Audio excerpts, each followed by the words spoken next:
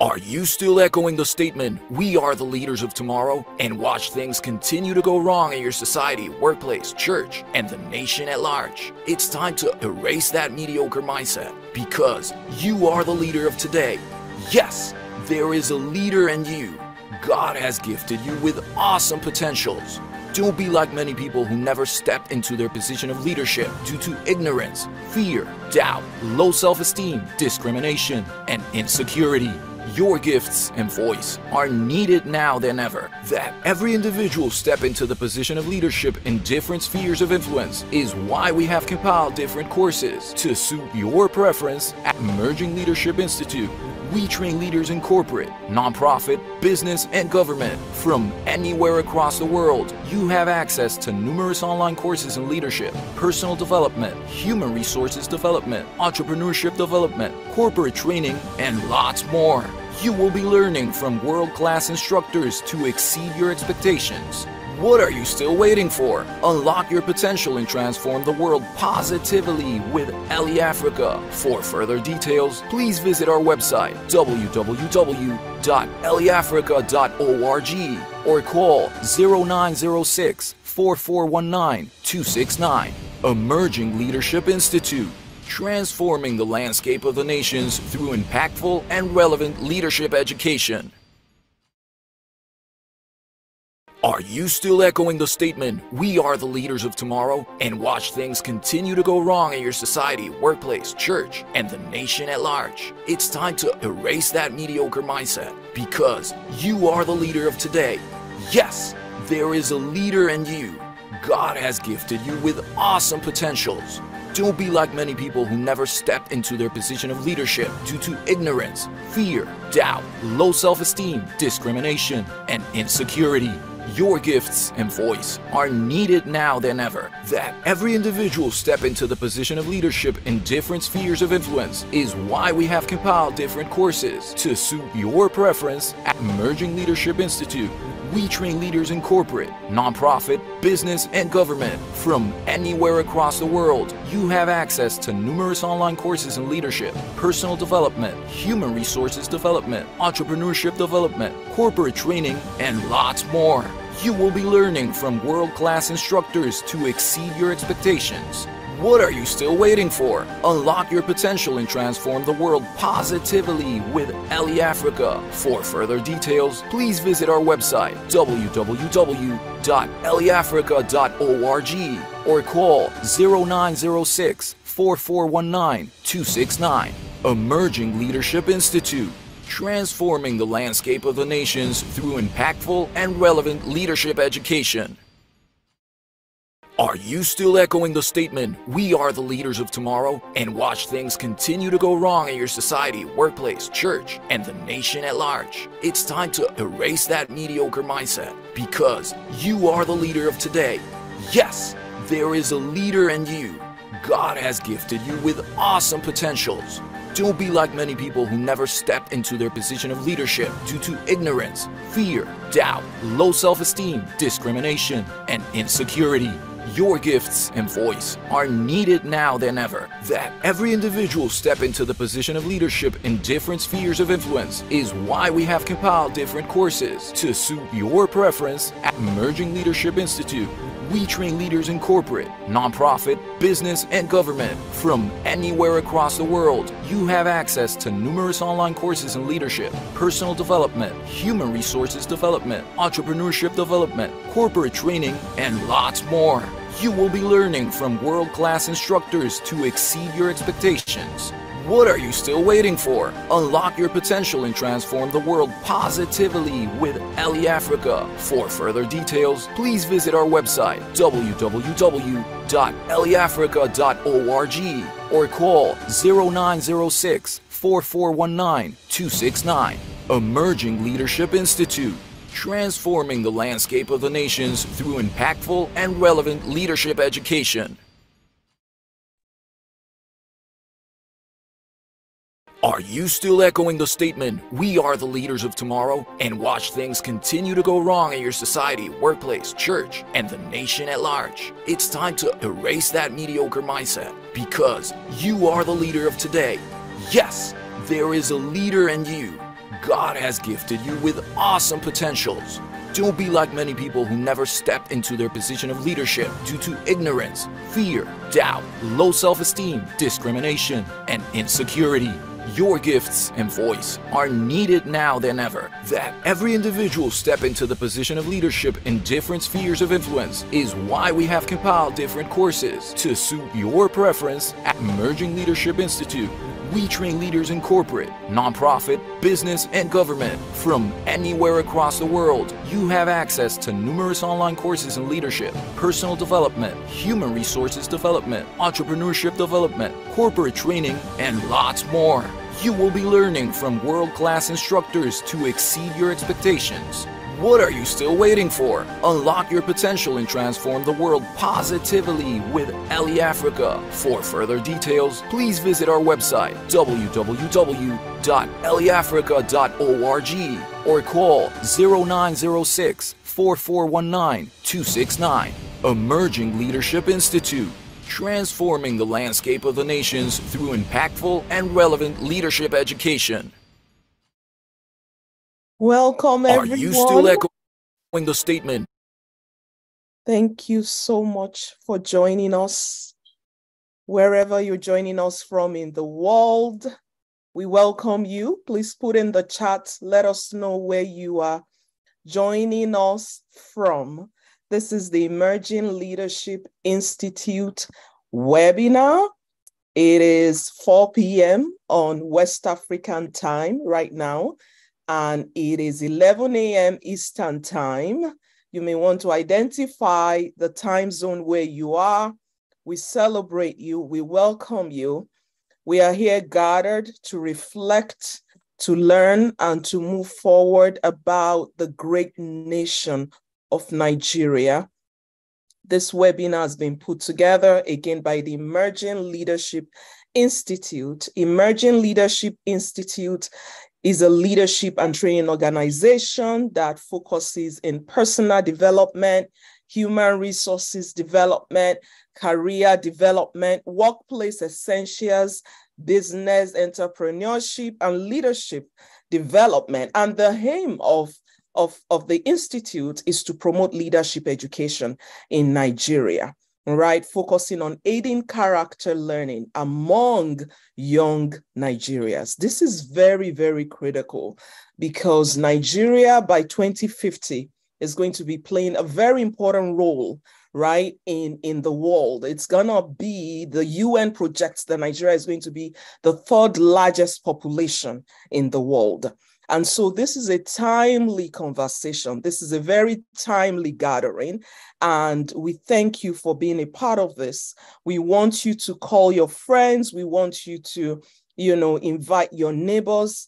Let's put our heads together to have this wonderful conversation today. So without uh, much ado, we're going to get right to it.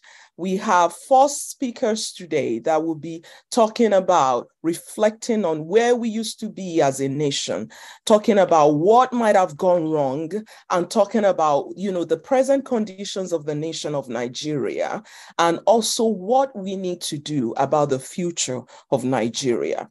We're very excited about our speakers, seasoned professionals in their different fields, people that really have a heart for Nigeria and wants to build other people, others that are coming up to really achieve the Nigeria that is promised. You know, such a beautiful nation that we have. And so at this point, we're going to be introducing our first speaker, who is Dr. James Fadele. And then he's going to be talking to us about the Nigeria of yesteryears and we will reflect on that. We'll reflect on each conversation and each presentation. And then at the very end, there's going to be an opportunity for you to ask questions. So please, with each speaker, make sure you are reflecting, you are writing down your questions, and so that at the end we can engage. And for the questions that we are not able to get to, we will provide the email. It's been provided at the beginning, but we'll give you opportunities throughout uh, to get inform our contact information so that you can reach out to the Emerging Leadership Institute with your questions. Again, you are welcome. If you're just joining us, this is the Emerging Leadership Institute webinar. We're excited that you are here and we're getting ready now to introduce our first speaker and go into the first lecture for today. Welcome. Pastor James O. Fadele is an Assistant General Overseer of the Redeemed Christian Church of God worldwide and a member of its governing council. He is also the Continental Overseer and Chairman of the Board of Regional Pastors of RCCG The Americas. Pastor first trained as a mechanical engineer and later obtained a master's degree in operations research from Wayne State University, Detroit, MI, in 1990. In addition, he earned an MBA from Lawrence Technological University, Southfield, MI, in 1993.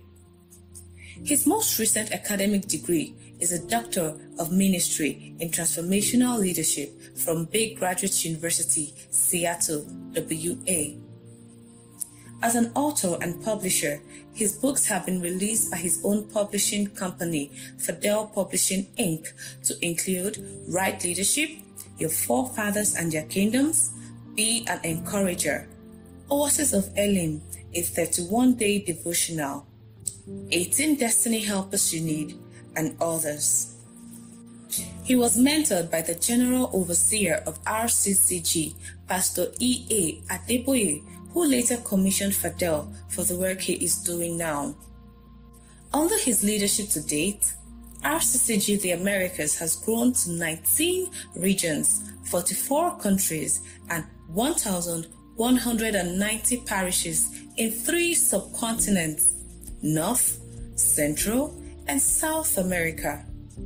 Each year, thousands attend the annual convention at the campground in Floyd, Texas, of over 700 acres.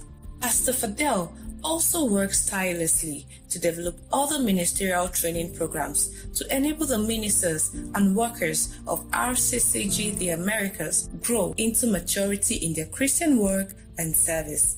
By the grace of God, he is happily married to Pastor Manita, a medical doctor specialized in pediatric medicine, and they are blessed with three children.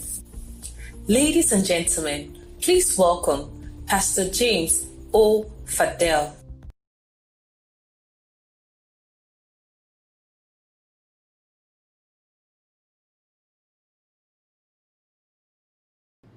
Good morning, good afternoon, good evening, depends on where you are located. All protocols observed.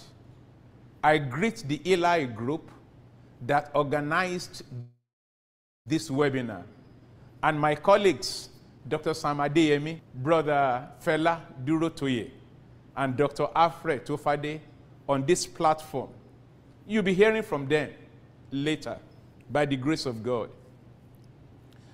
It is my pleasure to speak on Nigeria in the past, the good old days, and where did things go wrong. These topics makes me feel like anytime Nigeria is a subject of discussion, there are always questions to answer. And with increasing questions about the country than available answers can match, you will all agree with me that Nigeria has become a republic with many unanswered questions.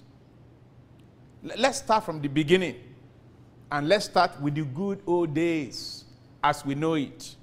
Number one, the family was very, very strong and there was strength in the family in the good old days. One did everything with the family in mind. Failure was a taboo. It meant the family had failed. You go to school in the name of the family. One's identity is tied to the family. So people will ask, who from what compound do you come from? Who is your father? That is the strong family background. Divorce was a no-no. But abuse is frowned upon and not tolerated. When you are married, you married for life. And stay in there to be a pillar of strength and support for your family. The good old days. Number two, there were strong ethics. There were do's and don'ts in society. Stealing was considered unconceivable. If you stole and you were caught, it brought shame to the family. We respected each other and each other's properties. Do you know then, the good old days, TV programs ended at midnight so that people can rest and sleep, not 24 hour programming. Farmers could leave their produce on the road. No need for anyone to man it. You bought what you needed and placed the money by the produce. Honesty was the norm. Due to polygamy system, women in those families essentially became independent contractors. They started petty cash trades to care for themselves and their children. They do so to help their husbands when things were hard. The good old days. Number three, education. Education was taken seriously. You know, pardon my vernacular. As I sing this song, they sang to us when we were in elementary school. It says, Batarea dun ko ko ka. Batarea dun ko ko ka. Bí o bá kàwé rẹ̀, Batarea dun ko ko ka. Standard 6 education then was like a graduate today. Our edu was highly respected. Teachers were honored and respected. Students valued education. Our premier universities were world ranked. Ife, Ibadan, Nsukka, ABU, Lagos, and so on. Back then, if one graduated from the university, the whole village celebrated because the graduate automatically became the breadwinner for the family. Do you know, sir, as a son of a teacher, or my elder sister was a teacher, sons of teachers were expected to know everything. The good old days. Number four, self awareness. Then you respected yourself, you handle yourself with dignity. Due to the British system, ranking matters, social economic status mattered. The good old days. Number five, exchange rate. The exchange rate then in the early 80s was one naira to one British pound sterling or one naira to one dollar. Our money was respected. Our money was valued. As such, we were able to go to UK for vacations and summer jobs. The British system went bankrupt due to the cost of war, and all now depended on American company to bail them out. The monetary policy devalued the currency. The good old days. Number six, order. Self-discipline and respect for authority were valued. Legal trouble of any kind was seen as a disaster to the family. It was to be avoided at all costs. The good old days. Number seven, commerce and trade. Goods and services were in abundance in quality, in quantity, and variety. There was dynamic foreign and domestic trade, allowing for regional specialty and healthy import and export exchanges. Do you know that product commercials were meaningful and trustworthy? Some of the advertisements we grew up with be important, be successful, use Maclean toothpaste, pimp. You remember those commercials, the good old days, Coca-Cola ads, and so on and so forth. The good old days. After reminiscing on these good old days, everybody have their own story. However, the question for us today is where did things go wrong? Where did things go wrong? Ladies and gentlemen, you can therefore imagine my excitement to contribute few answers to some of the questions facing Nigeria. And since my topic ends with a question mark, where did things go wrong? Hopefully, my findings will help to reduce Nigerians' burden of unanswered questions. However, let me prepare your mind that I'm not a historian to spin a chronology of events and weave dates and times into the logic of my argument. However, I believe my obstetrics analogy to unraveling where things went wrong will help clarify some of the mysteries.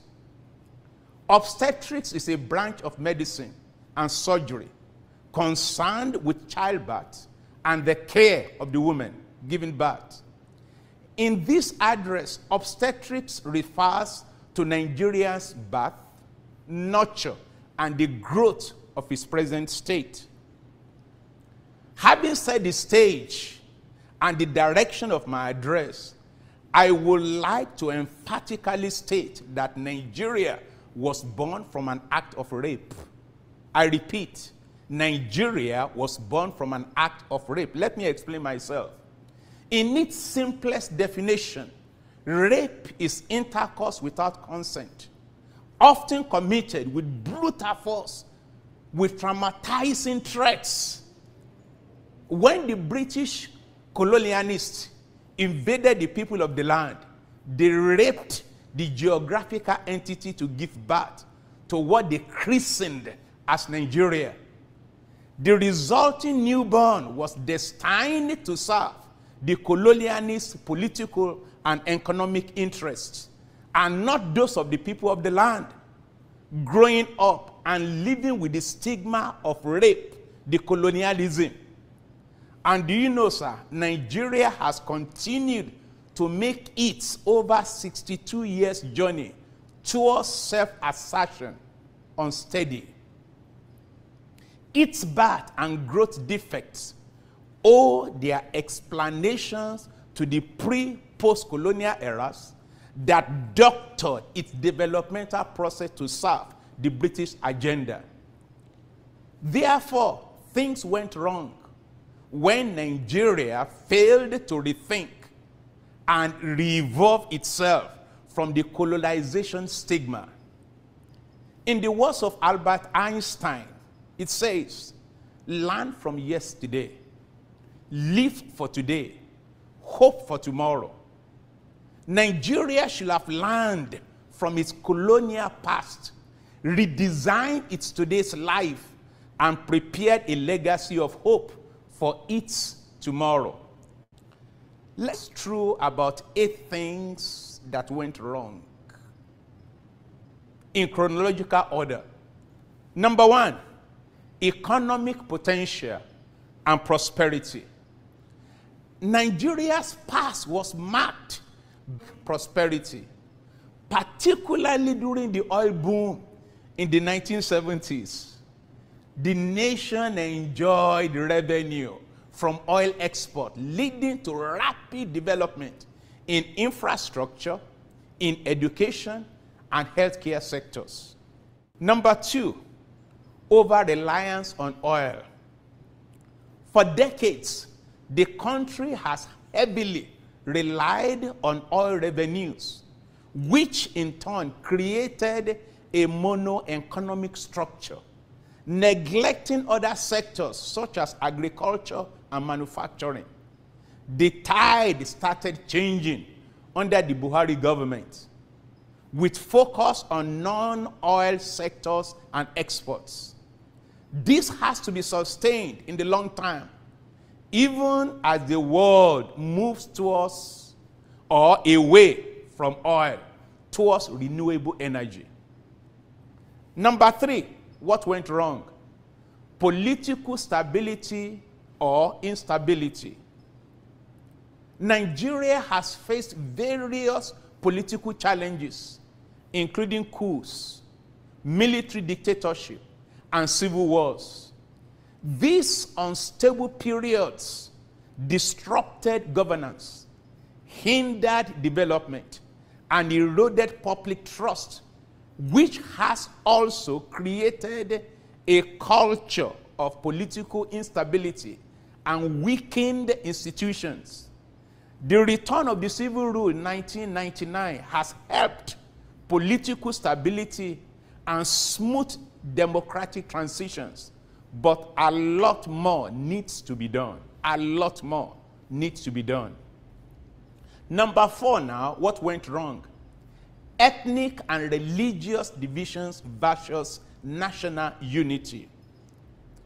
Over the past decades, from the north to the south, ethno religious tensions have led to violence, political marginalization, and a sense of exclusion, which has hindered national unity and cooperative effort for the wholesome development. The 2023 elections brought such divisions to the fore. What went wrong? Number five, corruption, governance, and mismanagement.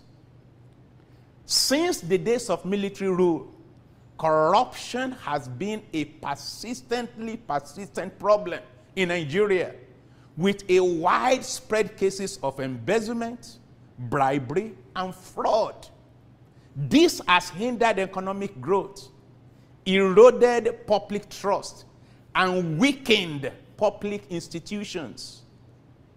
Mismanagement of resources, both natural and financial, has resulted in the squandering of opportunities for development and even opportunities for our children.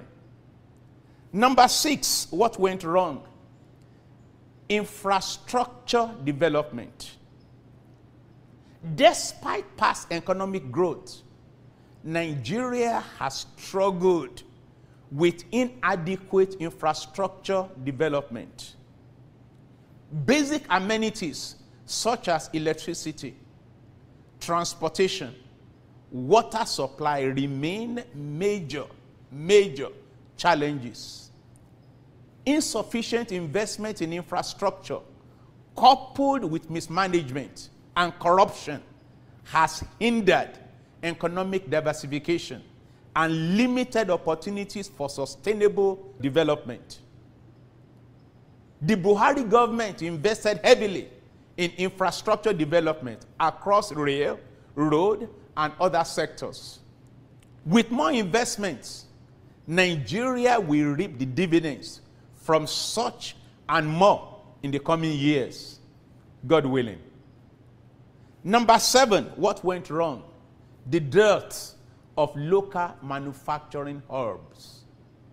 For long, Nigeria has relied on imports for a wide range of products including basic goods and industrial components. Do you know, sir, that some people have to order pizza from Lagos in London? What a travesty.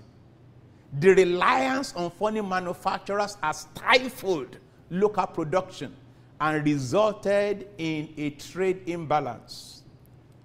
Addressing this issue requires a multifaceted approach involving policy, reforms, infrastructure development, access to finance, skills development, research and development, public and private partnership, and international cooperation. If effectively implemented, Nigeria can unlock its manufacturing potential, create job opportunities for our youths. Last but not the least, number eight, education and skills gap. Also, human capital development. The education system in Nigeria, once reputed as one of the best in Africa, has suffered a decline over the years due to insufficient funding, inadequate facilities, and outdated curricula, which have contributed to a skills gap and limited opportunities for our youth. This has limited the country pace with global advancement and opportunities for technological and economic progress. These and several other issues have to be acknowledged, they have to be addressed, and collaborative effort by both leaders and the citizenry will help chart a path towards a more prosperous and inclusive future for Nigeria and all Nigerians. In conclusion of my topic, to summarize my position and the point raised in my argument, number one, things went wrong when our vision failed to transcend our struggle for independence. Number two, things went wrong when the vision for a great nation was poorly communicated from leadership to the followership in some federating regions. Number three, things went wrong when the federating unit decided to transform into a republic without harmonization of regional visions into a central vision for the country to work with. Number four, things went wrong when successive military regimes found their first assignment in obliterating the flakers of the original vision of the land. And number five, things went wrong when the policy formation of emerging political parties continuously failed to find their place under the umbrella of a singular vision for the country's greatness. These wrongs have many consequences, but none so eloquently proves the point as the continuous culture of political parties' interest over the national interest, ethnic, tribal, regional, and religious interests over national interests are adopted children of political ideologies behind party formation and affiliation. Yes, things went wrong when we lost the vision for the country we desired. Thank you, thank you, thank you. Wow, thank you so much, Dr. James Fadele. Can you put your hands together in the chat on YouTube? That is a lot to think about. Dr. Fadele just spoke to us. If you're joining us anywhere in the world, we welcome you. He just spoke to us about Nigeria in the past, the good old days. Where did things go wrong? And he broke down a whole lot of what has been happening in the nation. He talked about, you know, how division, how disunity and greed continues a, a, a cycle of dysfunction as a nation. There's so much that he talked about our over reliance on oil, the political instability, the inability of, of government to communicate with followership, of leadership to communicate with followership, the lack of understanding of the vision of who we want to be as a nation, right? And even the dearth of local manufacturing hubs. Um, I find that this is an area of opportunity for us as a nation because Nigeria is so blessed with vast resources. But we've been so depleted in vision that there seems to be more of a desire to want what others want have and we neglect what we have been given the resources that we have been given and so there's a whole lot to take in there but one of the things i want us to be pondering upon is what role can we play in harmonizing our beautiful nation? And what vision do we carry for Nigeria? What is the vision that we have? Is it a vision to be seen? It is, a, is it a vision to fill our own pockets? But is it a vision of greatness? It is a, is it, it, it is, is it a vision to build up? So there's so much to think about. Thank you again, Dr. James Fadele for that really, really thought provoking presentation on Nigeria. We have three more presentations coming up. And before we move on to the next uh, lecture, uh, which is going to be given by, give me one second. Um, the next lecture is going to actually be by uh, Dr. Sam Adeyemi. But before we proceed to that, I want to introduce myself. Uh, my name is Sheun Bello Olamushu. I'm an educator with a passion for Nigeria. And I have done research actually. My expertise is in intercultural learning, but I have also done research on, you know, building academic success for African international students in particular, and really looking at the context of education, of the strengths that students bring, you know, from that educational setting in Africa and how they can take it to other parts of the world. And, you know, Nigerians, Africans are really, really emerging and being successful in different parts of the world. So, part of what we want to talk about today is also just looking at how are we building the youth and what vision are we giving to them? So before we introduce Dr. Sam Adeyemi, at this time we're going to show an, a video introducing you to Emerging Leadership Institute, what it's about, what the mission is, and how you can participate. Thank you.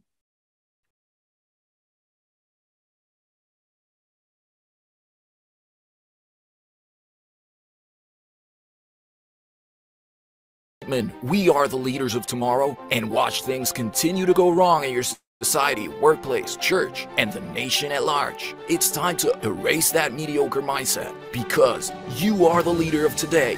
Yes, there is a leader in you. God has gifted you with awesome potentials. Don't be like many people who never stepped into their position of leadership due to ignorance, fear, doubt, low self esteem, discrimination, and insecurity. Your gifts and voice are needed now than ever. That every individual step into the position of leadership in different spheres of influence is why we have compiled different courses to suit your preference at Emerging Leadership Institute. We train leaders in corporate, nonprofit, business, and government from anywhere across the world. You have access to numerous online courses in leadership, personal development, human resources development, entrepreneurship development, corporate training, and lots more. You will be learning from world class instructors to exceed your expectations. What are you still waiting for? Unlock your potential and transform the world positively with Ellie Africa. For further details, please visit our website www.ellieafrica.org or call 0906 4419 269. Emerging Leadership Institute transforming the landscape of the nations through impactful and relevant leadership education. Thank you so much again for joining us. And at this time, we are going to take our second lecture. Our second lecture is going to be led by Dr. Sam Adeyemi. And Dr. Sam Adeyemi is going to be talking to us about what went wrong with Nigeria and really examining where we are, the Nigeria of our dream, right? And talking about leadership and how we can move forward as a nation. Please, let's in, get the intro for Dr. Sam Adeyemi, and then he will start his lecture. Thank you. Dr. Sam Adeyemi has trained thousands of people in leadership for more than two decades. He has done this through the Daystar Leadership Academy, which has graduated over 45,000 people since 2022, and through seminars, workshops, and conferences. He currently serves as a mentor to hundreds of CEOs. His new book is Dear Leader, your flagship guide to successful leadership. As a global conference speaker, he has addressed audiences in many countries. In 2015 and 2017, he spoke at the Global Leadership Summit, a global conference attended by over hundreds of thousands of leaders in over a hundred countries. He holds a Master of Arts degree in Leadership Studies from the University of Exeter, UK, and a doctorate in strategic leadership from Regent University, Virginia, USA. He is a member of the International Leadership Association and the Forbes Coaches Council. Sam Adeyemi is the CEO of Sam Adeyemi GLC Inc., a leading global leadership consulting company with a mission to raise high impact leaders to shape the fortunes and destinies of nations. He is married to Nike Adeyemi, a global speaker and minister, and they are blessed with three children.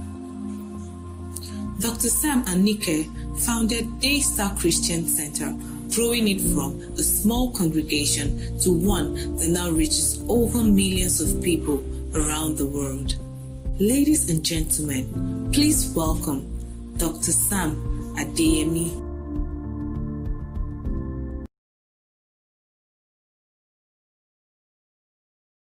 Welcome, everyone, uh, to this webinar. Thank you very much, uh, Dr. Shew, for the introduction. And I want to appreciate my fellow speakers today, Dr. James Fadele, who did a fantastic job uh, laying the foundation for our discussion today, and Dr. Alfred Tofade and Mr. Fela Durotoye. This is the Emerging Leadership Institute, and I just want to say the greatest need of Nigeria and of our world right now is good leadership. So we actually can make do with every platform that helps us to cultivate our leadership qualities at this time. A former uh, Justice of the US Supreme Court, Oliver Wendell Holmes, once said, what lies behind us and what lies ahead of us are tiny matters compared to what lies within us. So I'm speaking on Nigeria today, leadership and the change process. Nigeria remains a country with massive potential for progress in spite of our challenges. I would just classify the things that Dr. Fadele brought to our attention as comprising of our strengths and weaknesses, our opportunities and threats. threats. Our focus on our strengths and opportunities, looking at where we are right now. Let me draw our attention to our population. Right now, the United Nations puts or estimates Nigeria's population to be 223 million people. And they estimate that 60% of this population is under 25. This youth population is a phenomenal opportunity where many countries in developing economies are beginning to have a decline in their population. It's a major reason why they are attracting talents from different parts of the world through their immigration policies. We have the youths. Nigeria is bottom heavy. And uh, this is the population that actually is productive at a productive stage in their lives. I believe that this is a huge opportunity for us. Of course, uh, the question is, what do we do with this population? How do we unleash the potential of this population? There's a story that I often share in my speeches about a preacher who was trying to determine what to preach, you know, on a Sunday. He was trying to determine what to preach on a Sunday. And his son was disturbing him, just going in and out of his study. So he decided to give the son something to do to keep the young boy very busy. he tore out a page from a magazine, tore it into pieces. It had the picture of the world, right? He tore it into pieces and told the young boy to go put the world back together, believing that that would give him enough time to do what he wanted to do, prepare for his sermon. But then the young boy came, the young boy came back within a few minutes and he had the picture together and it was correct. so the preacher screamed, How did you do it? The young boy said, Well, while you held the paper up before you tore it into pieces, what I saw at the back was the picture of a man. So I figured that if I could put that man back together, the whole world would also be together on the other side. And then the light bulb went off in the head of the dad, and he just shouted, Wow, wow, wow. Thank you. Thank you. Thank you. You just gave me what I was looking for. I was looking forward to preach tomorrow. So, this was the topic of his sermon. If you can put the man together, you can put the whole world together. The plain truth that is that our country will never be better than the quality of the people in it. So, the big question again what are we doing or what are we going to do with our huge population to unleash human potential? One other thing I want us to look at is diversity, our diversity in terms of our opportunities. Yes, Dr. Fadele did mention the current challenges that we have with ethno-religious uh, divisions they run really deep. Anyone who was a part of the last elections in Nigeria would admit that the ethnic divisions run really, really deep. If we can reduce the distrust, we will be amazed at the cultural richness of Nigeria and the huge potentials that it holds. First, the various perspectives that we can bring to our issue. The potential for creativity, if we would only allow ideas to flourish. And then the huge potential that we have with respect to tourism, because we have so much. We have so much to offer the world, so much for the world to come and see. You add that to our beautiful all year round weather, and the potential is huge indeed. Agriculture. Agriculture. Our climate and soil give us uh, the phenomenal potential to be the world's food basket. Almost 40% of Nigeria's huge landmass is arable.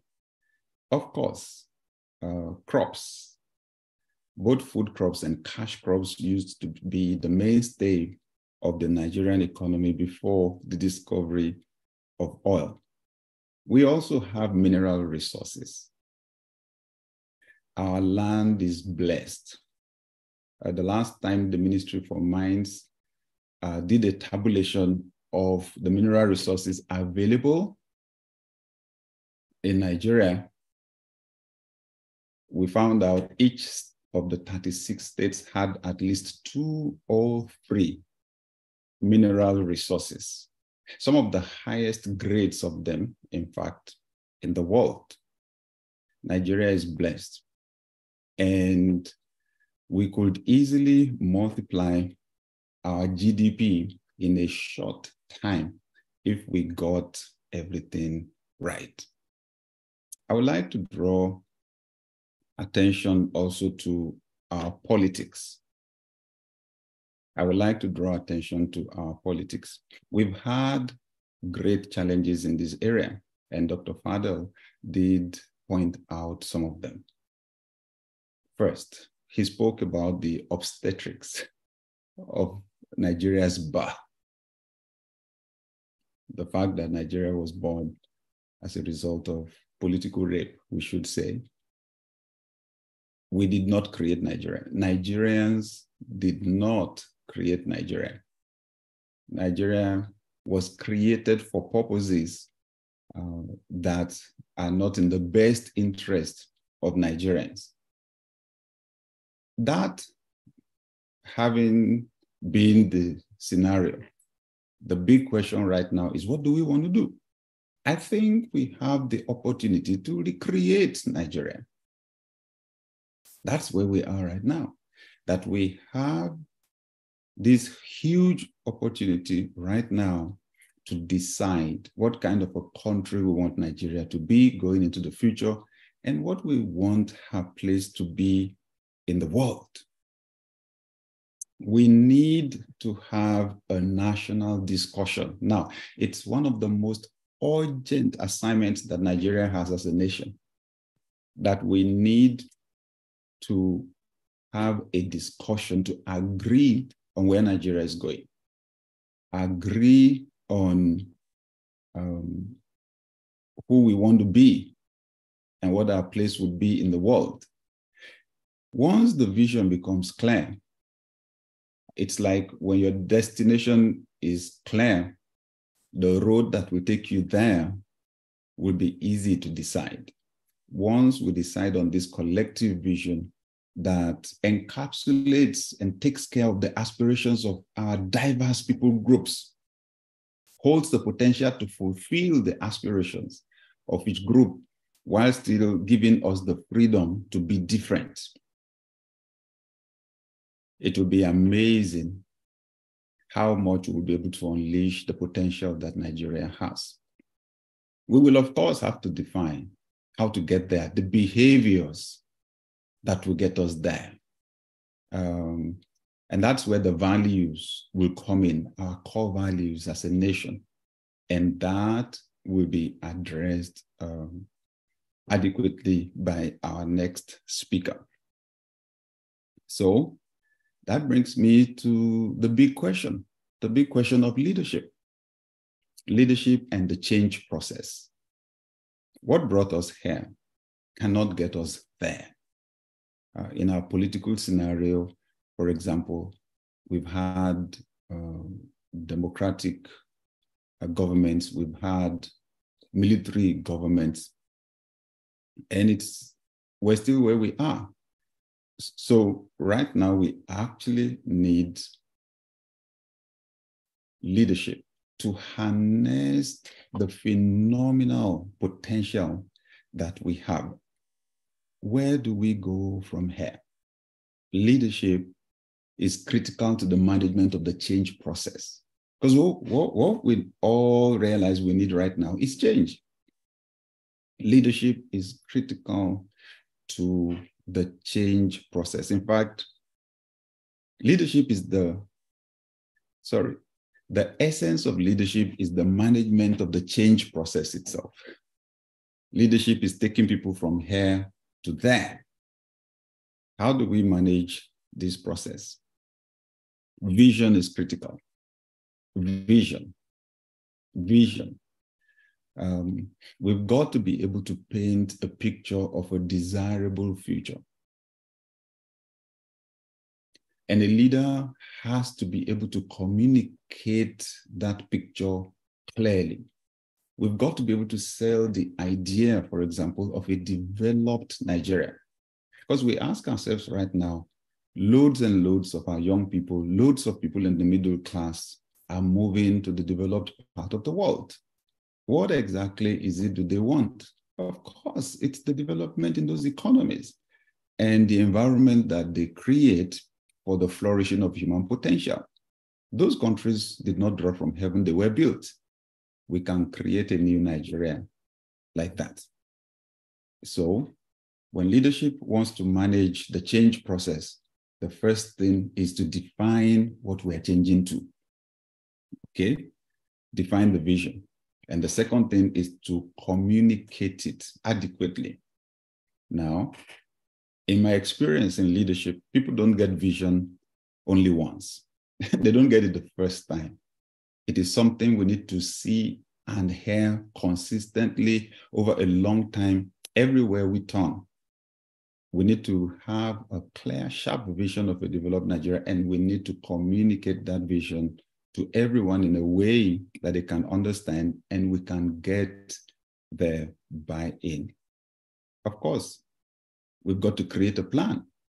We've got to create a broad plan, create strategies for getting to the fulfillment of that vision. And then we have to execute as a nation. We need to execute as a nation and to check, you know, from time to time, our milestones, because we've got to have milestones. Uh, it will be exciting if at the end of each year, we get addresses from leadership at various levels referring to that long range vision that we have. Now, this vision needs to transcend the four years, the four year cycle of our democratic government. It's got to be a long range vision. And then every year we can check how far we have gone with respect to that vision, that long range vision. Okay. So we need to have a plan, we need to execute, and we need to evaluate. That's what leadership does while managing the change process. We evaluate how well we have done. And finally, we institutionalize the changes. We institutionalize the things that are working, tweak the ones that are not working as well as we expect.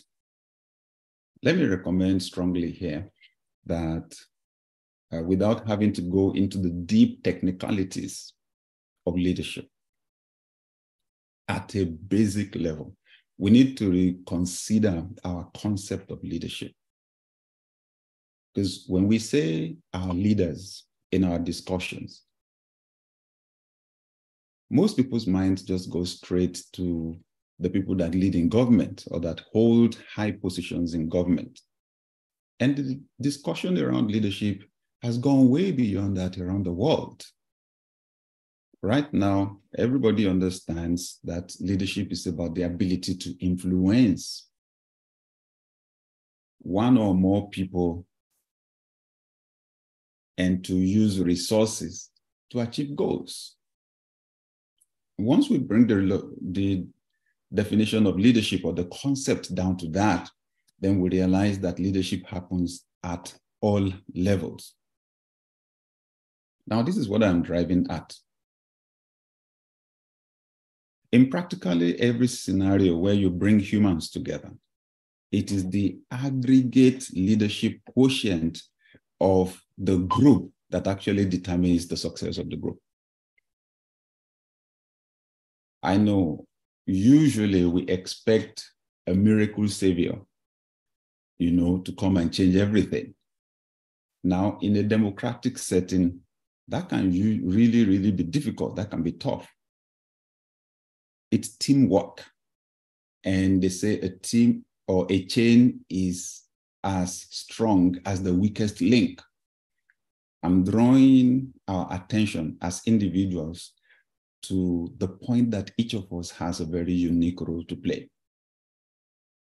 You're cultivating your leadership potential is having great impact on the progress of Nigeria. Leadership happens at all levels. Leadership happens at all levels. I learned something some time ago because I'm a sports lover, especially soccer.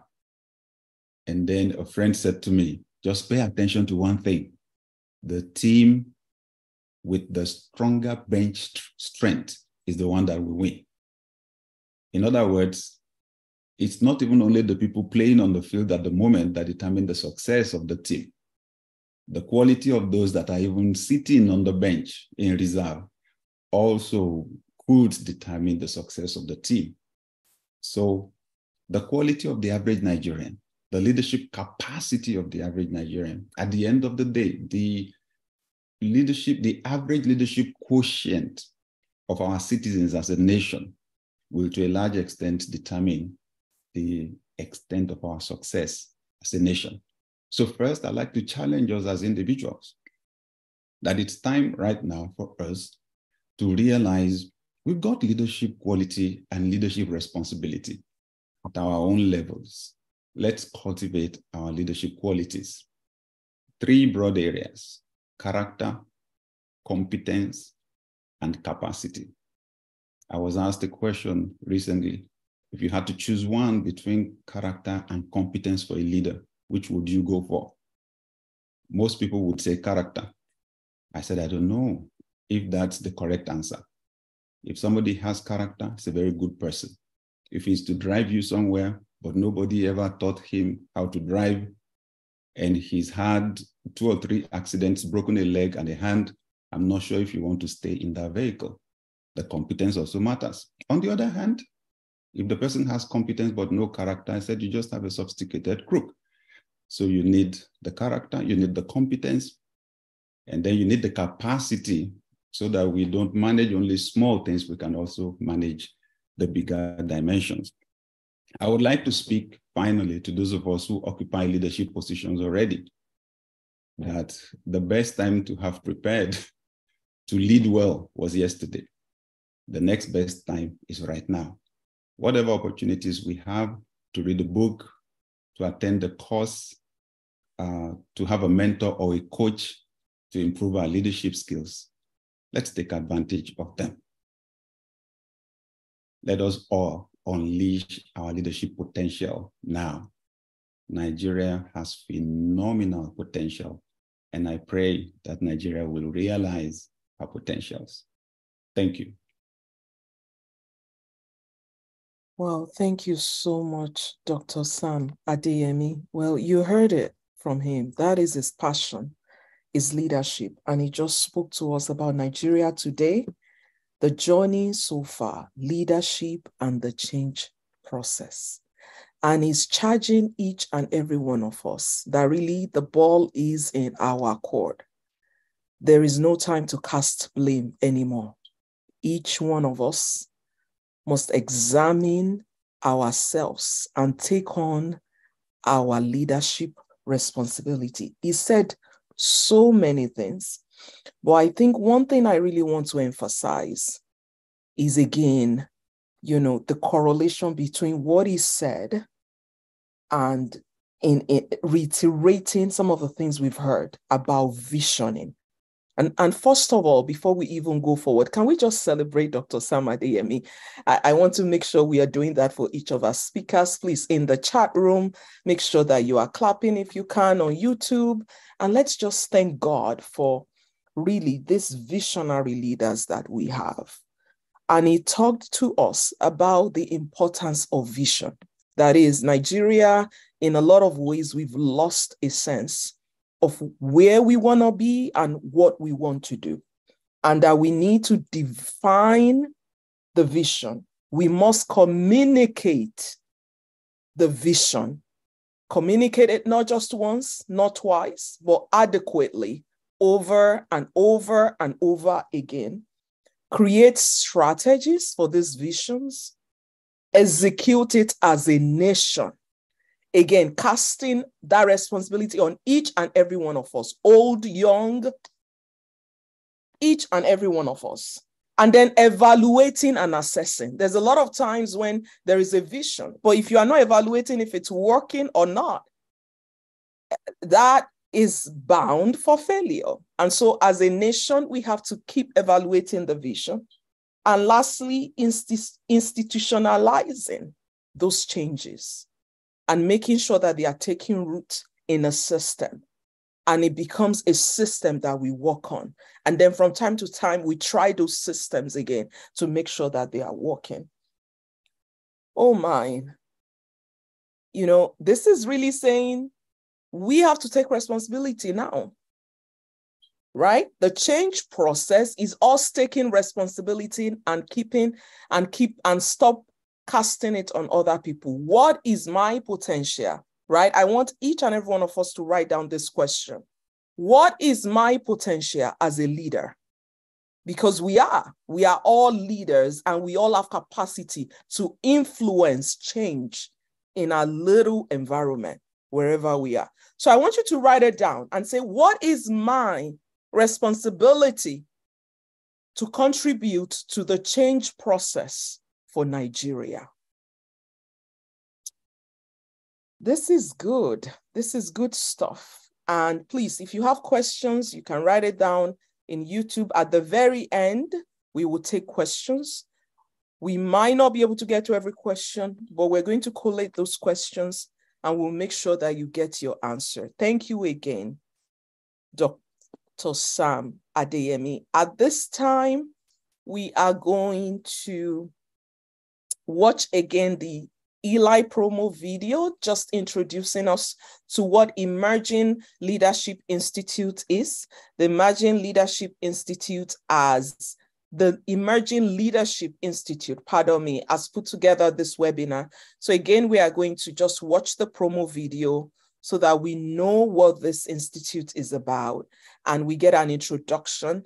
If you are just joining us again, we welcome you wherever you are joining us from all over the world. We thank you for availing us time and audience to talk about the great nation of Nigeria, a, a nation so blessed and with so much potentials. And what we are doing right now is examining the past, the present, and also what we need to take with us into the future to make Nigeria what it needs to be and what it has been called to be.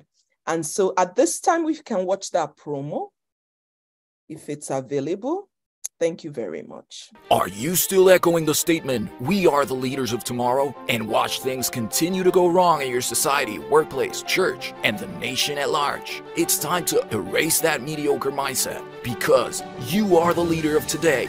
Yes, there is a leader in you. God has gifted you with awesome potentials.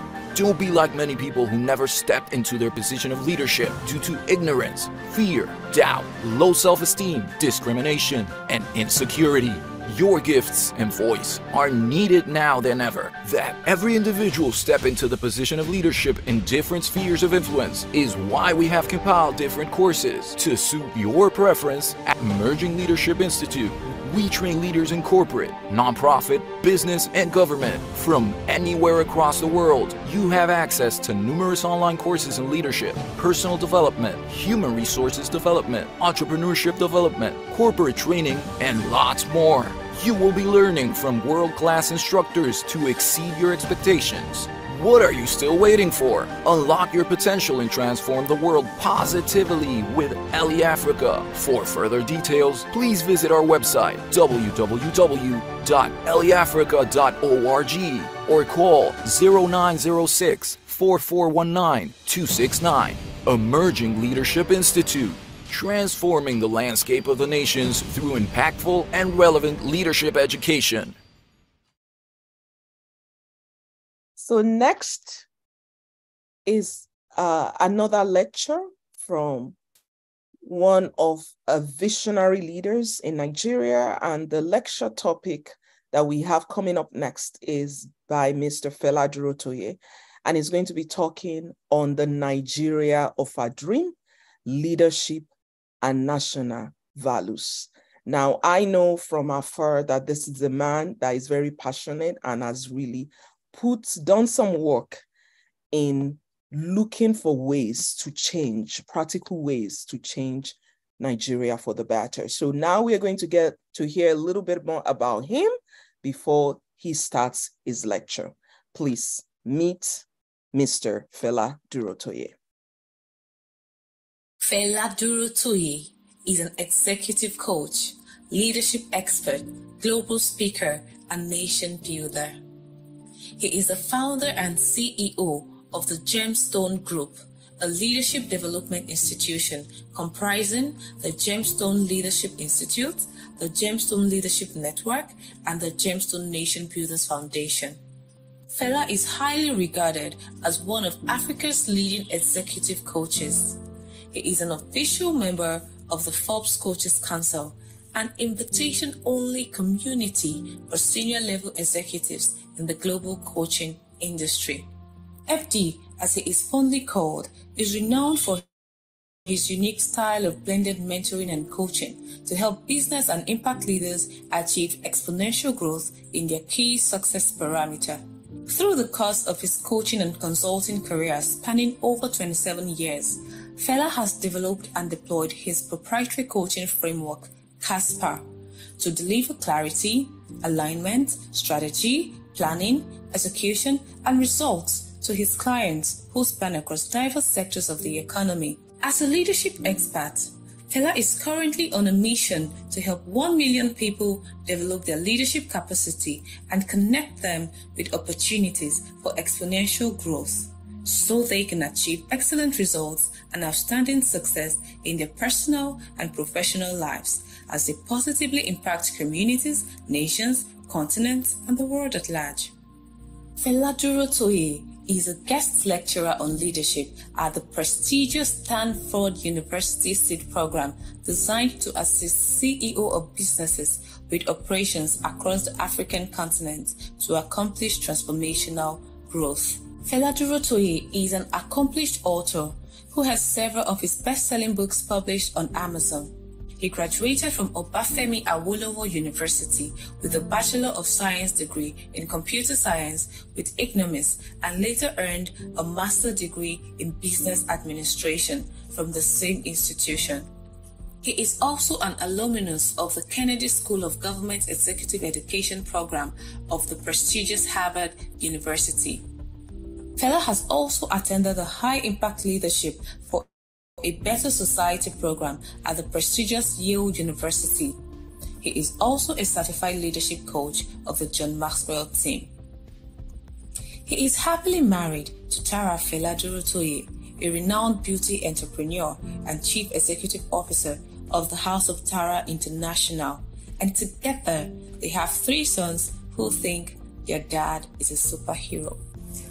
Ladies and gentlemen, please welcome the founder and CEO of the Gemstone Group, Fela Durotoye.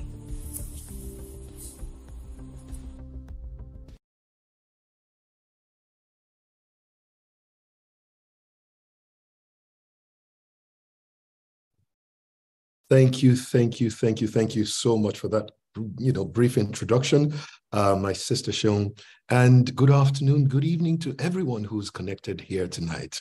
Um, let me first of all congratulate the Emerging Leaders Leadership Institute on hosting such an, um, you know, an amazing or timely uh, uh, conversation um, today. I think that clearly one of the things that I've always shared is that Nigeria doesn't need any one leader. Nigeria needs 220 million leaders, and um, you know we've we, we've got to be able to build a culture of raising leaders at every level. In fact, one of the things that I'm most committed to is raising a generation that is empowered, motivated, and stirred to operate with natural excellence.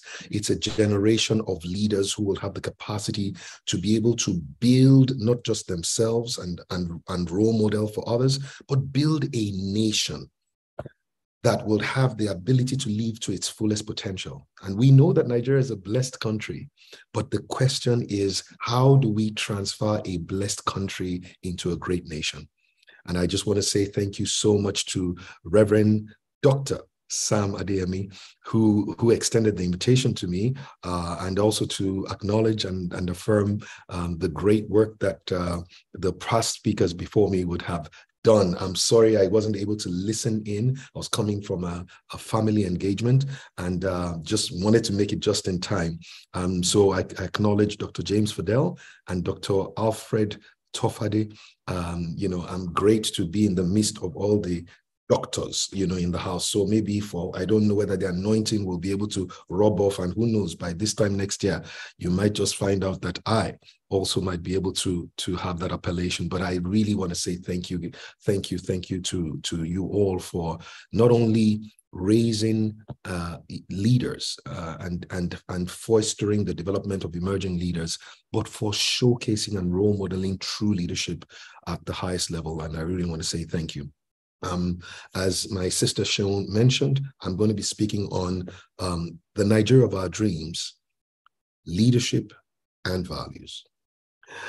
And I think that the best way for me to do this in, in less than 20 minutes is to really tell you a story that I think would help us to understand how come we have gotten to where we are today and then more importantly to see what can we do as leaders and uh, what can we do as individuals um, in, and, and I would showcase some of the work that we have done as a way of encouraging um, anybody else to say, listen, if Fela can do it, so can I, where it is that we're at.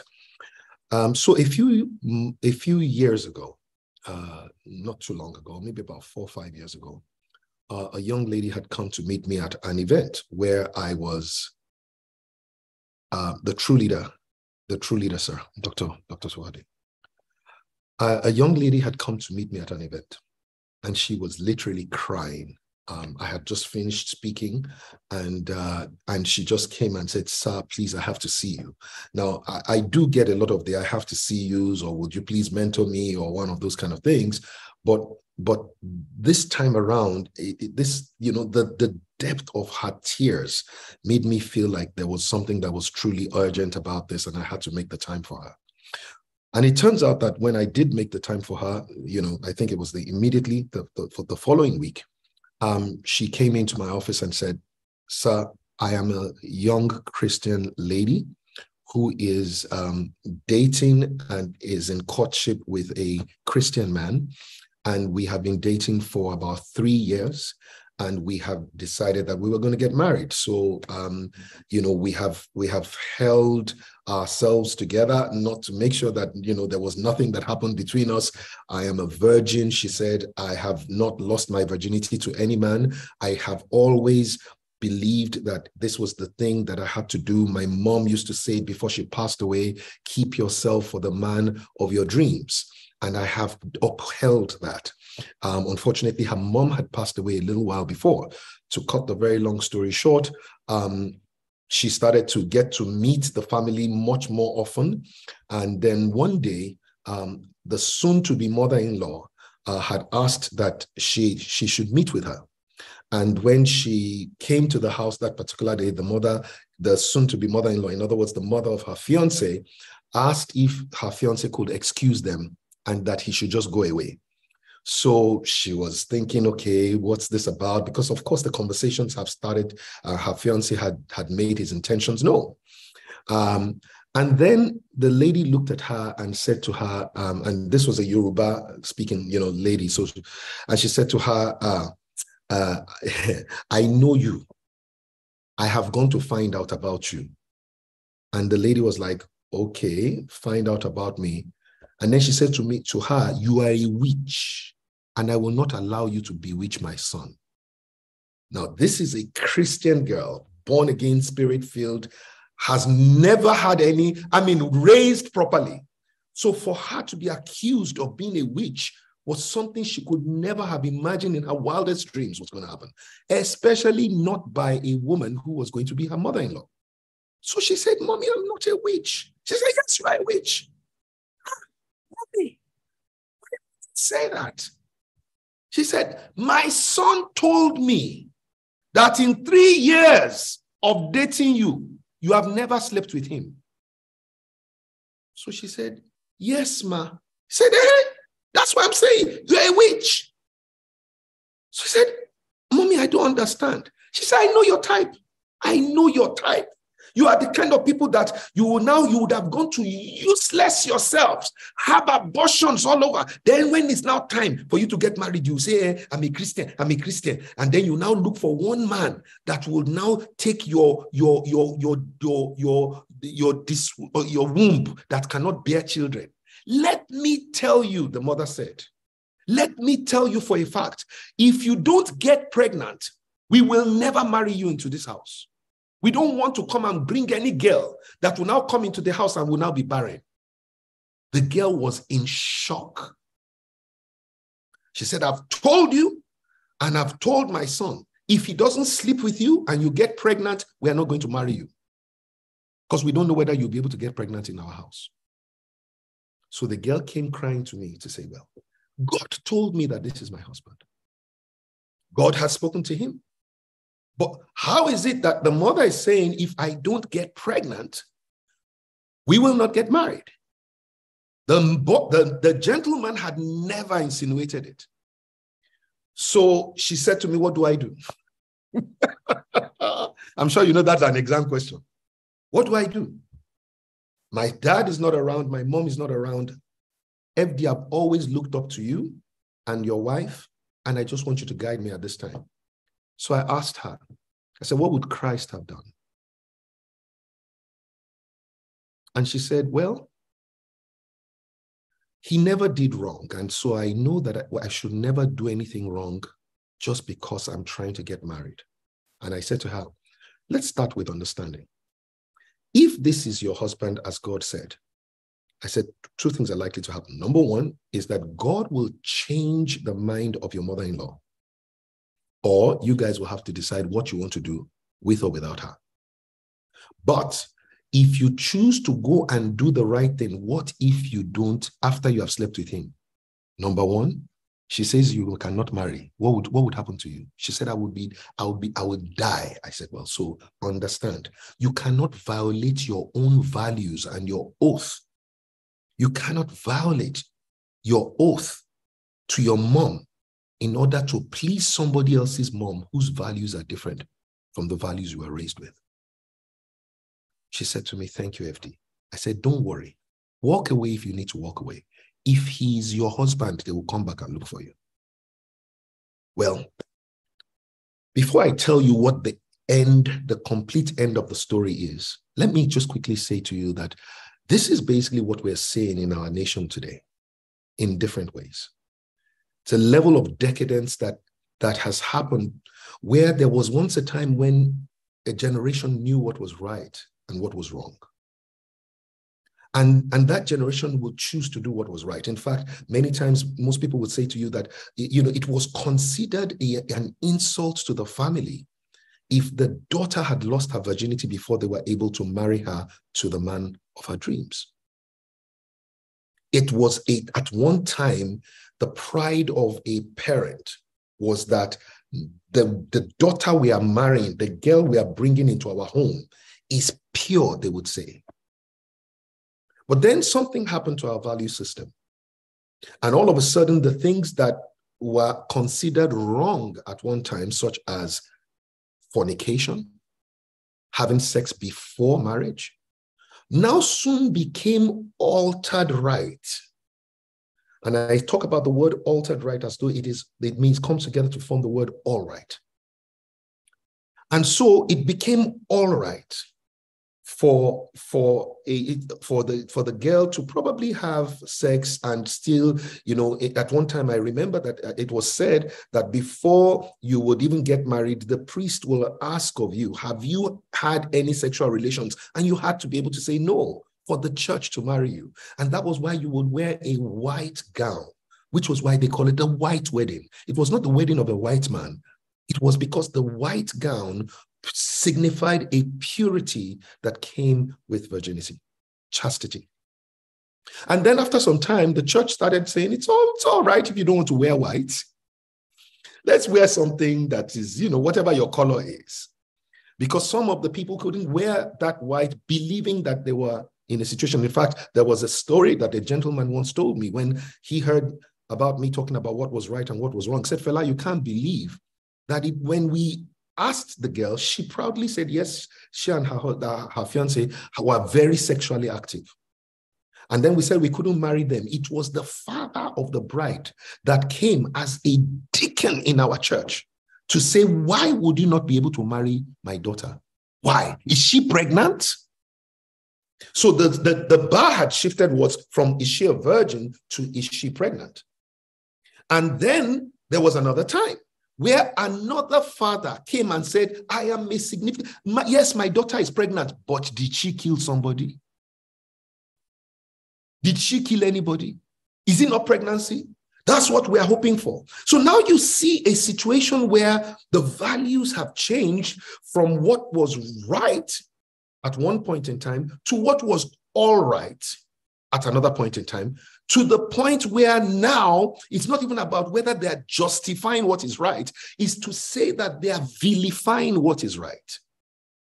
And that is what happens in a society or a nation where the values have decayed to the point of decadence. The question is, how do you fix it? To fix any problem, usually you have to ask who's responsible for solving the problem. I don't need to ask who's responsible for the problem because that is looking in the direction of blame. One of the things I have realized is that leadership, a, blaming is not a leadership skill. Because leadership is about solving problems. The challenge is when we ask ourselves, how do we look to our leaders? Then we begin to look at the people who are supposed to be those who are our leaders, and then we find a crisis in that space.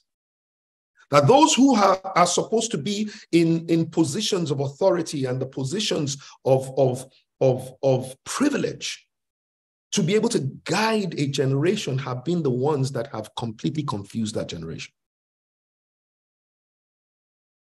And so you ask yourself, what does this mean? What do we do? Now, to think of it as well, leaders, and you almost want to say, they'll look at the president and look at the governors and look at the people in power. I came to realize the difference between leadership and rulership. That, you know, apparently for many years we have been calling our leaders or our rulers leaders and thinking that we, their subjects, were followers. In fact, what, what had happened was about 13 years ago, I, I, I, I was watching the news sometime in the month of May. I think it was on the 5th of May.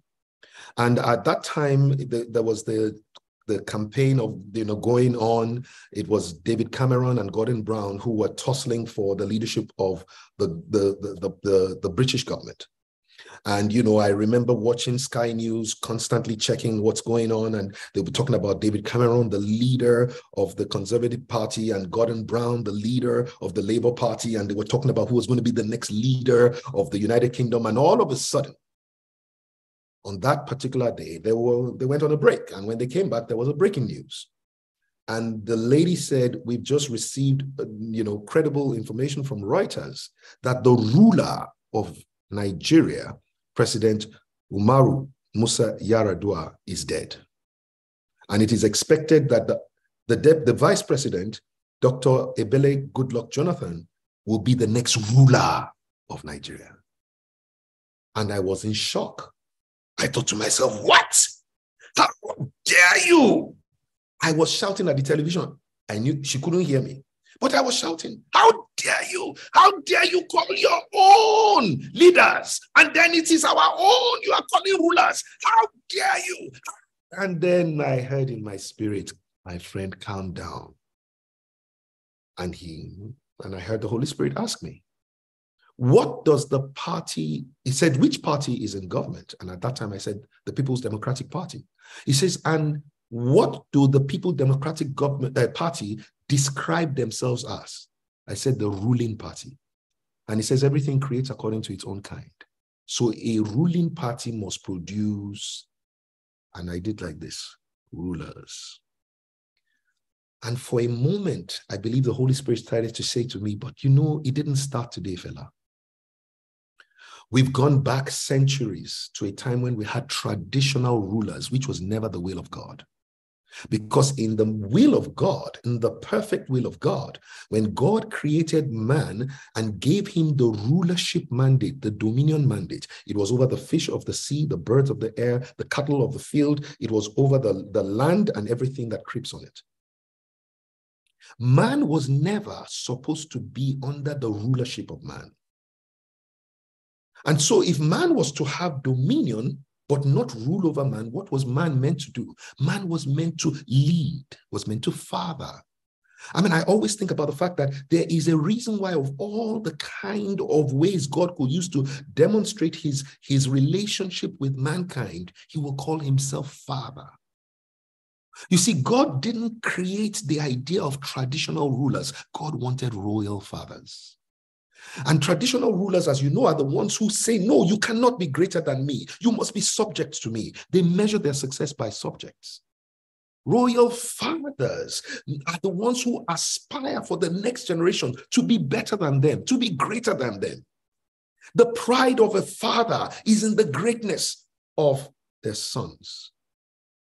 But rather than have royal fathers, we had traditional rulers and the traditional rulership went for many centuries until there was a disruption by the colonial rulers and masters who didn't come to lead, they came to conquer and take our resources. So they came to rule and subdue and subject.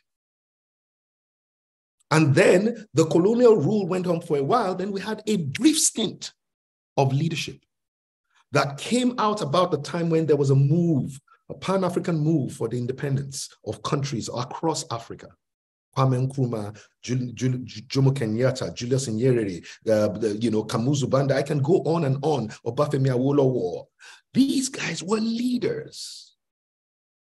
They didn't have any power, they didn't have any money, they didn't have anything, but they had decided in their hearts that even though we were born into uh, as second class citizens into our own our own countries and our parents didn't fight them we will not give subjugation to the next generation.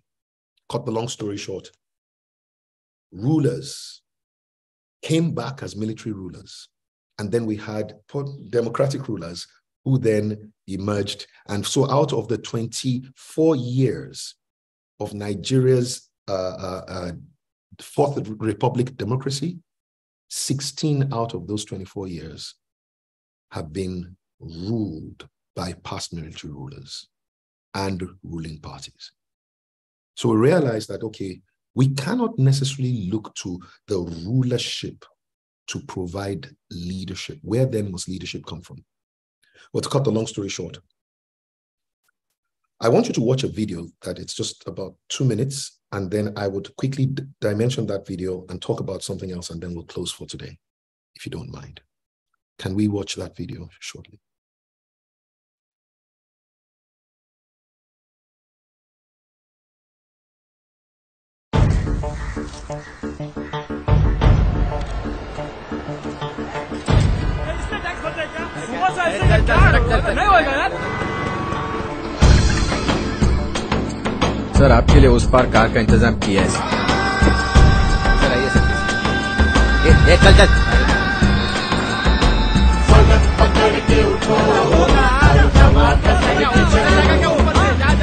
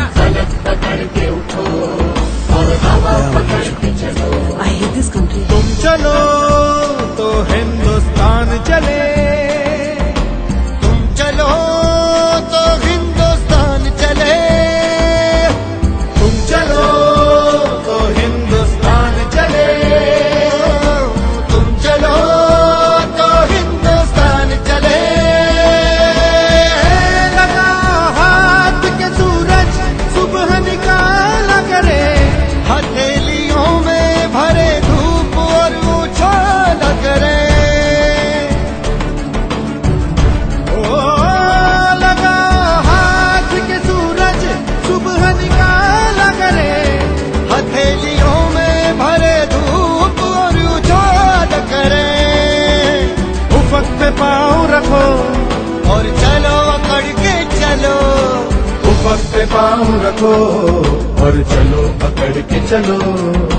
फलक पकड़ के उठो और हवा पकड़ के चलो। फलक पकड़ के उठो और हवा पकड़ के चलो। तुम चलो तो हिंदुस्तान चले।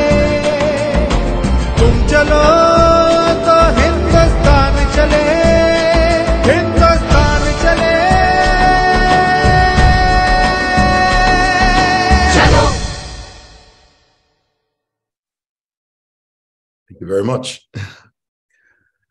I watched that video a few years ago and it completely changed my, my life in terms of just understanding of the difference between positional leadership and true leadership. It's actually called True Leader Best Ever Video if you want to check it out on YouTube. And I've used that video many times to be able to highlight the distinction between rulership and leadership. First of all, talking about what leadership is not clearly everybody agrees that usually that, that it's that little boy that, that was the leader of the day. But if that little boy was the leader of the day, then clearly leadership is not about position, it's not about age, it's not about status, it's not about employment, it's not about you know election. Leadership is not about those things. You, cannot rule without a position, you cannot rule without authority, you cannot rule without the legitimacy of, of the authority that you need to rule, but you can lead without any of those things. Why? Because leadership is about influence. And therefore, everyone can lead. Because leadership is about taking a step forward to solve a problem, to make things better, make people better, make places better. Leadership is the ability to be able to galvanize people, whether through words or action, to be able to focus on a common cause that eventually makes life better for everyone, not just the leader. But most importantly, I think leadership is the ability to bring out the best in oneself and in others. And to be that, you have to be able to role model certain values that do not make other people who look up to you have to copy you or become copies of you, but that a real leader is someone who, if anyone were to imitate you, they become a better version of themselves. Why? Because the values of a leader become the culture of the body.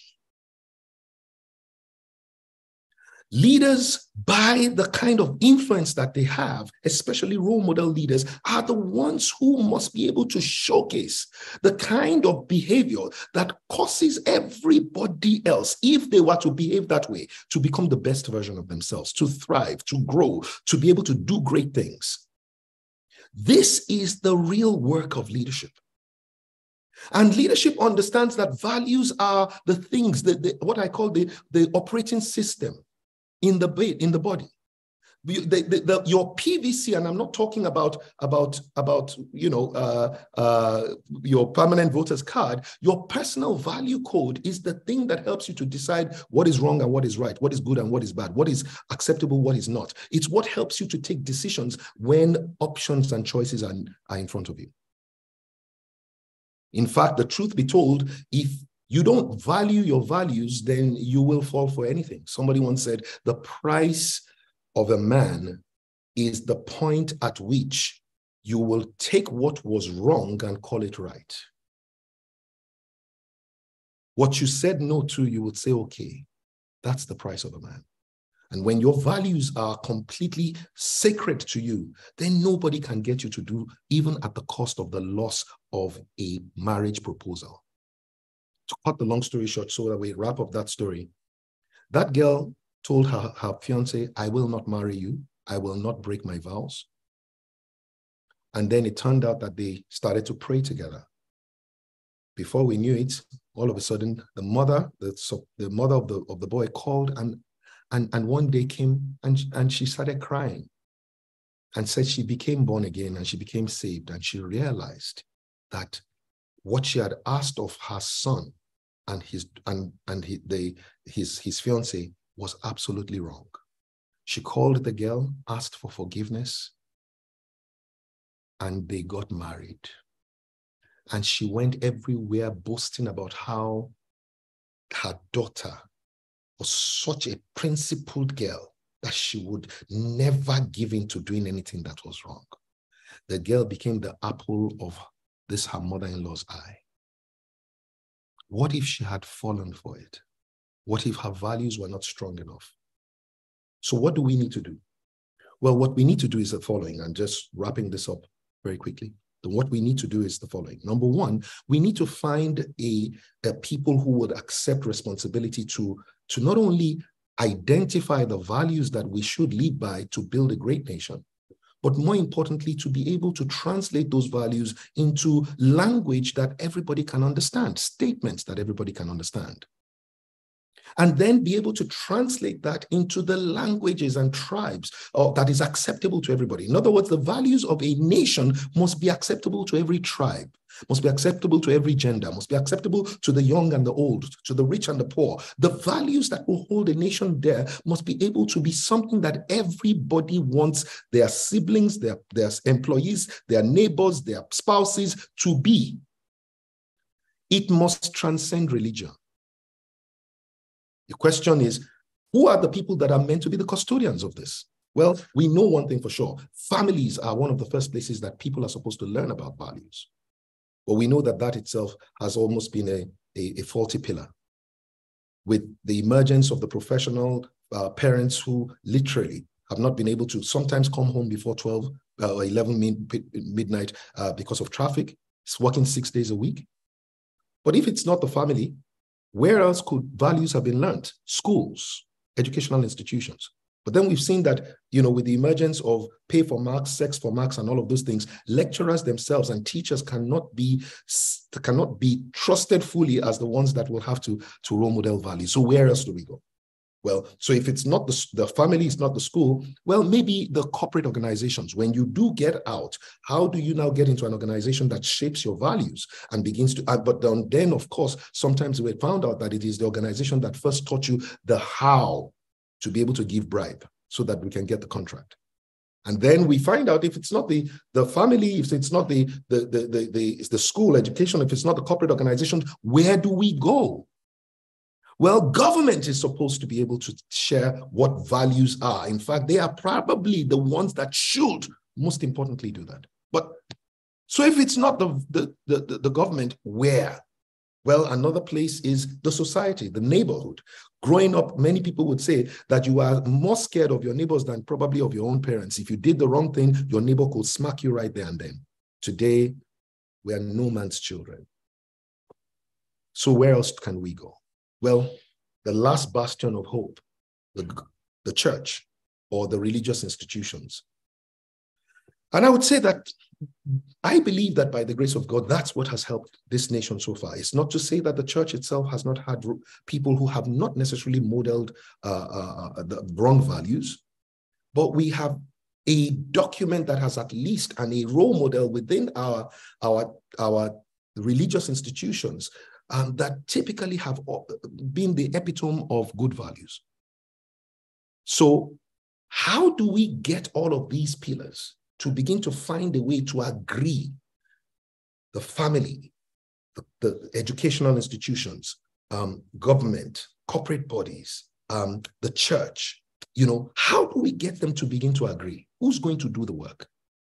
We know we have a national orientation agency, but can we wait? Can we wait? I think the answer is not. So one day I asked myself, Fela, the challenge that I saw the boy step up to was the challenge of the tree that was affecting everybody else's life. Fela, what is your own tree? And it occurred to me that one of the trees that I had to push was the tree of the values decadence. So where do we start from? So then we have to define the values that we want. We have to define those values within a value system and a and a and a and a and a state those values very clearly in a way that people could have. And so I I realized that, and if I can just show you very quickly, we came up with 10 values that we call the personal value code that are embedded in the personal creed. And we said, if you're going to build a great nation, the kind of nation people want to live in, want to work in, want to do business in, and want to raise the next generation. And that's really what the nation of our dreams are. In the, in, you know, towards the 2019 uh, presidential elections, I was involved in running a presidential campaign. I went all across Nigeria. I found out everybody wants the same thing. They want a nation that works. They want a nation where, where there are opportunities for everybody, and what is acceptable to the rich is accessible to the poor. They wanted a, a, nation where the son of a nobody can become somebody without knowing anybody. That's what they wanted. They wanted a Nigeria that works for everybody. That's the Nigeria of our dreams. And to be able to have a Nigeria that is a most desirable nation to live in, you must have Nigerians that are the most desirable people to live with. To have a Nigeria that is the most desirable nation to do business in, you must have the most desirable people to do business with. To have a Nigeria that is the most desirable nation to work in, you must have the most desirable people to work with. To have a Nigeria that is the most desirable nation to raise the next generation in, you must be able to have the most desirable parents for the next generation. And what values do we have, can we come up with? And we came up with 10 values or 10 value statements, which are make a positive impact on everyone you meet and everywhere you go. Be a solution provider, not a part of the problem to be solved. Be a role model worthy of emulation. Be your best in all you do, particularly what you're naturally good at. Do the right thing at all times, regardless of who is doing the wrong thing. Value time and make the best use of it. Care and show respect to all through your words and your actions. Consciously build a great legacy starting now, today, and every day. Live a life of integrity and honor and make your family, your nation, and your God proud. And these 10 values are things that we now put in a value card. Let me see if I have one here. Oh, sorry, I don't have one here. We put it in a value card and we have given over 420,000 of those cards away. We segmented the society and said, okay, how do we take values to this to, to that society? And we decided that we're going to go to primary schools and secondary schools and universities. And in over 300 primary schools and secondary schools in Nigeria, in, in Nigeria, including in Lagos, we had these children stating and reciting these values every Monday. On Monday, when they get into their classroom, they, they recite the first two values. On Tuesday, they recite the second two. The, on Wednesday, they recite the third. And that's how they've gone. They also have values clubs where they take a value for the week and then think of how to use, um, you know, art, art, drama, poetry, or music to be able to reinforce those values in children. We started to hear stories of how children were doing better in school because they were, they were paying more attention. They were coming to school on time. And parents were beginning to say, What are you training our children? What are you telling them? I mean, we were almost late and the child was crying, I don't want to be late. I value time and make the best use of it. I don't want to be late. You had children telling each other instead of fighting each other and saying, "Is that how to make a positive impact on everybody, on somebody?"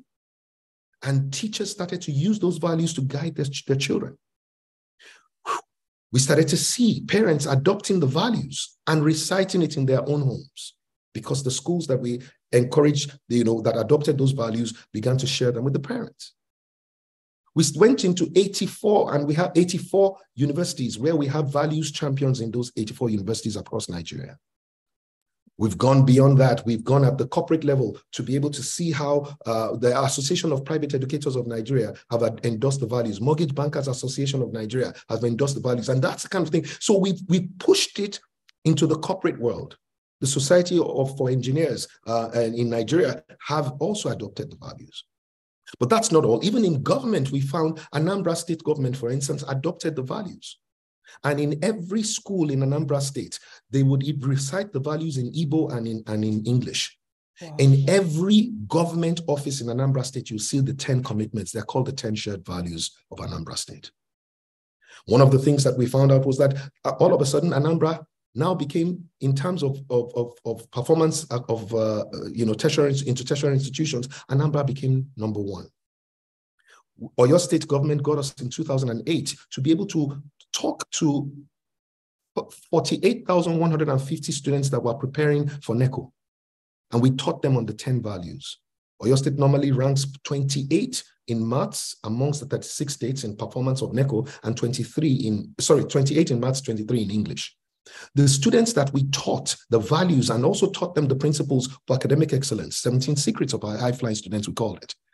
Those students, when they sat for the exam in 2009, they, they came third in English and fourth in maths out of 40, 36 states.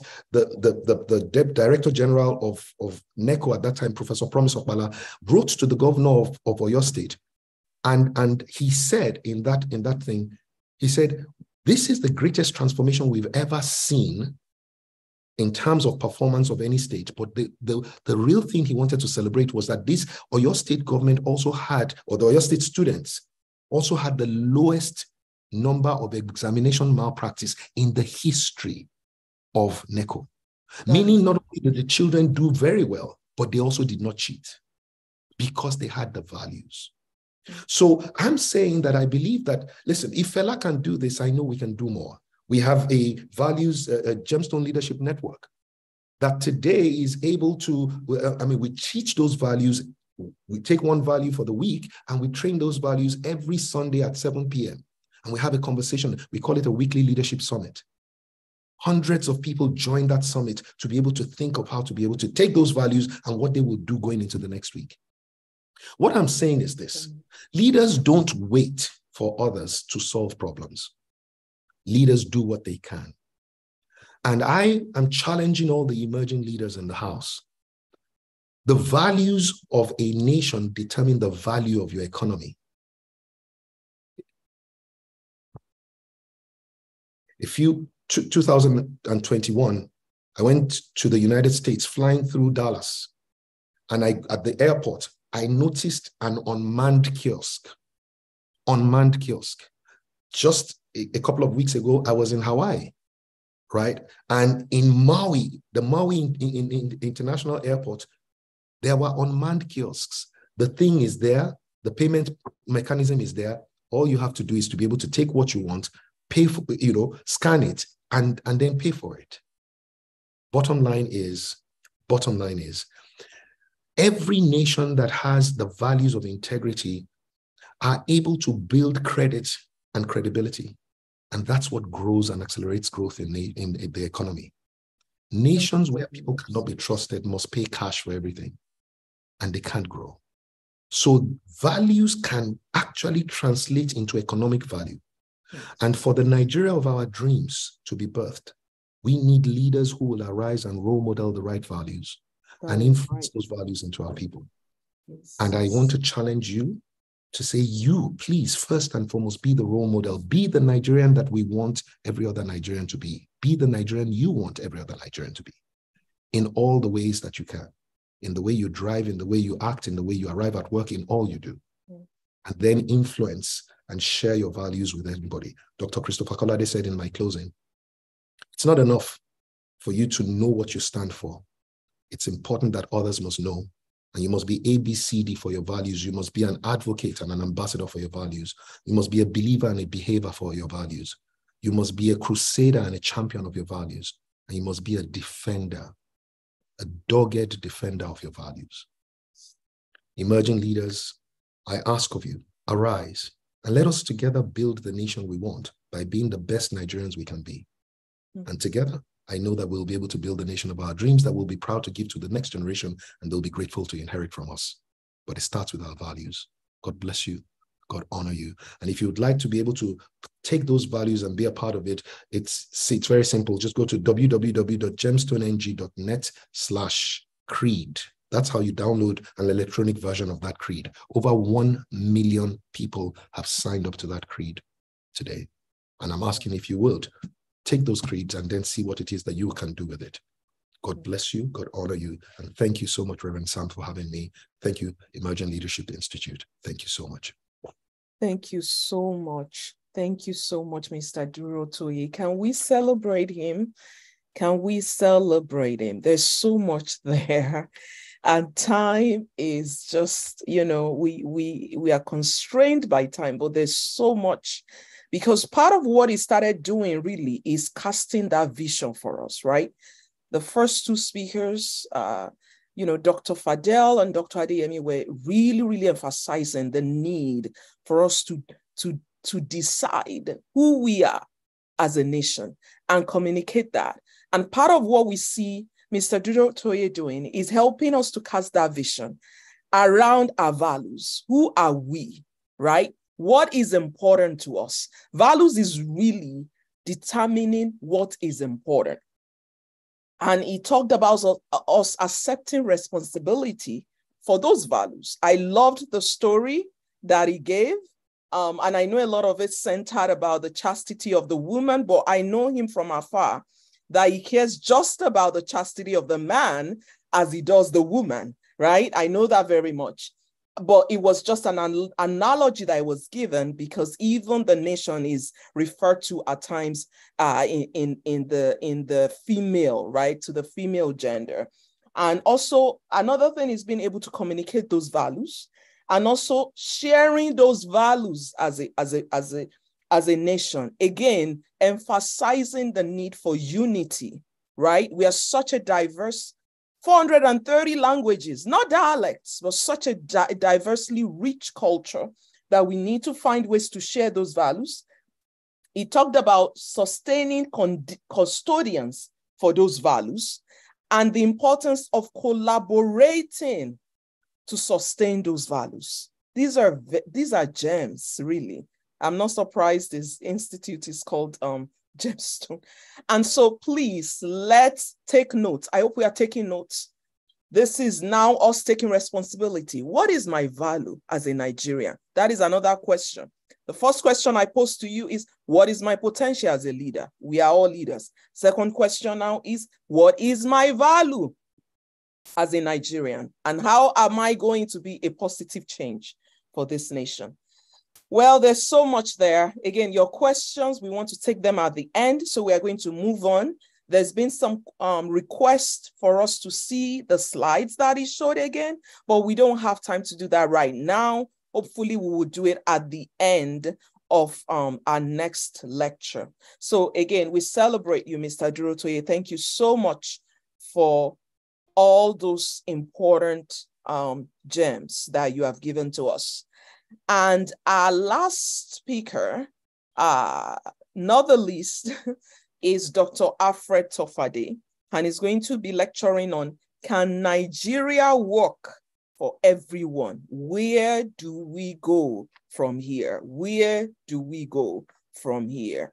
That is a big question. And now um, let's be introduced to Dr. Alfred Tofade, and immediately afterwards, he's going to lecture us on Can Nigeria Work for Everyone?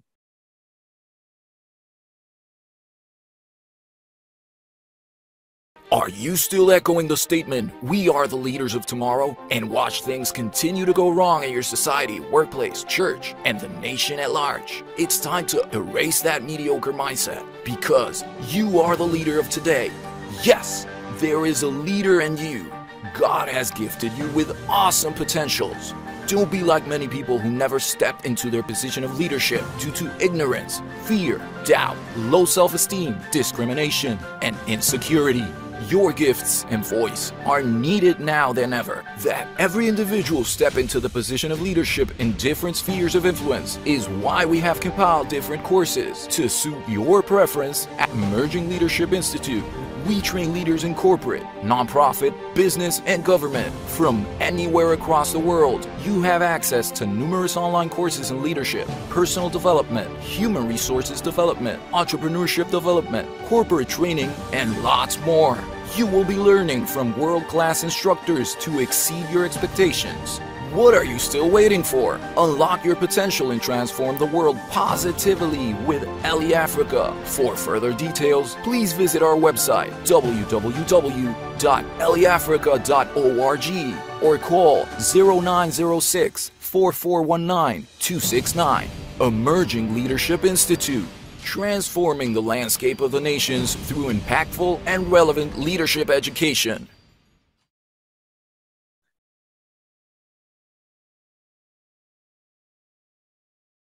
Dr. Alfred B.C. Tofade currently resides in Durham, North Carolina. One of his many passions is to help in the growth of corporate businesses in the marketplace and develop leaders across all industries, including non-profit organizations.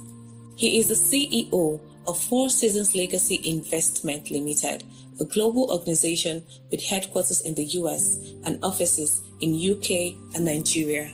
He is also the president of Creative Minds Inc., based in the US. Tofade graduated from the University of Ife, Nigeria, with a degree in pharmacy, an MBA in organizational leadership, and a doctorate degree. He also took the course on executive education with specialty in governing for nonprofit excellence under Harvard Business School. He is highly skilled, effective, and a well sought after leadership development tutor and mentor in the USA. He is also an author and a dynamic speaker. He is currently a visiting professor to two universities in Nigeria where he teaches executive leadership courses for senior level executives in government and private sectors, as well as undergraduate courses in leadership. Dr. Tofade is a certified coach and speaker with John Maxwell team and has written courses and manuals for company executives, high and mid-rate managers in the corporate world. Ladies and gentlemen, please welcome Dr. Alfred B.C. Tofade. Thank you, thank you, thank you for having me. I am so, so delighted to join uh, these uh, beautiful uh, leaders and prominent speakers in presenting the Nigeria of our dreams. Thank you, Dr. James Fadele. Thank you, Dr. Sam Adeyemi. Thank you, Mr. Fela Durotoye. We are so, so blessed to actually be on this platform. I want to thank you all, those who are watching and participating from afar and near. My question today, or my part, is to tidy up all of this and tie them together. Can Nigeria work for everybody? I know that is a million dollar question that many of you are wondering where, where's the answer there? How do we find the answer? Maybe today, many of you, you just say, Well, I'm a nobody, but you are connected to someone. You have somebody in the leadership, you have someone in government, your uncle, your cousin, somebody you can actually whisper these things to. Nigeria needs to work for everyone. For Nigeria to be a country, a great nation, people need to have pride in the country. So I'm going to share a few things on my slide, if you will. Uh, please pay attention to these few things on the slide. I'm just going to make it quick and brief as to tidy up the rest of this conversation that we have uh, been engaging since morning. Nigeria of our dream. How can Nigeria work for everyone? So we go, where do we go from here? The question, the first question I have is, who does the country work for currently? Who are the beneficiaries of the country? Who are the people you can say, yeah, Nigeria is working for them? Nigeria needs to work for everyone, but who is benefiting mostly?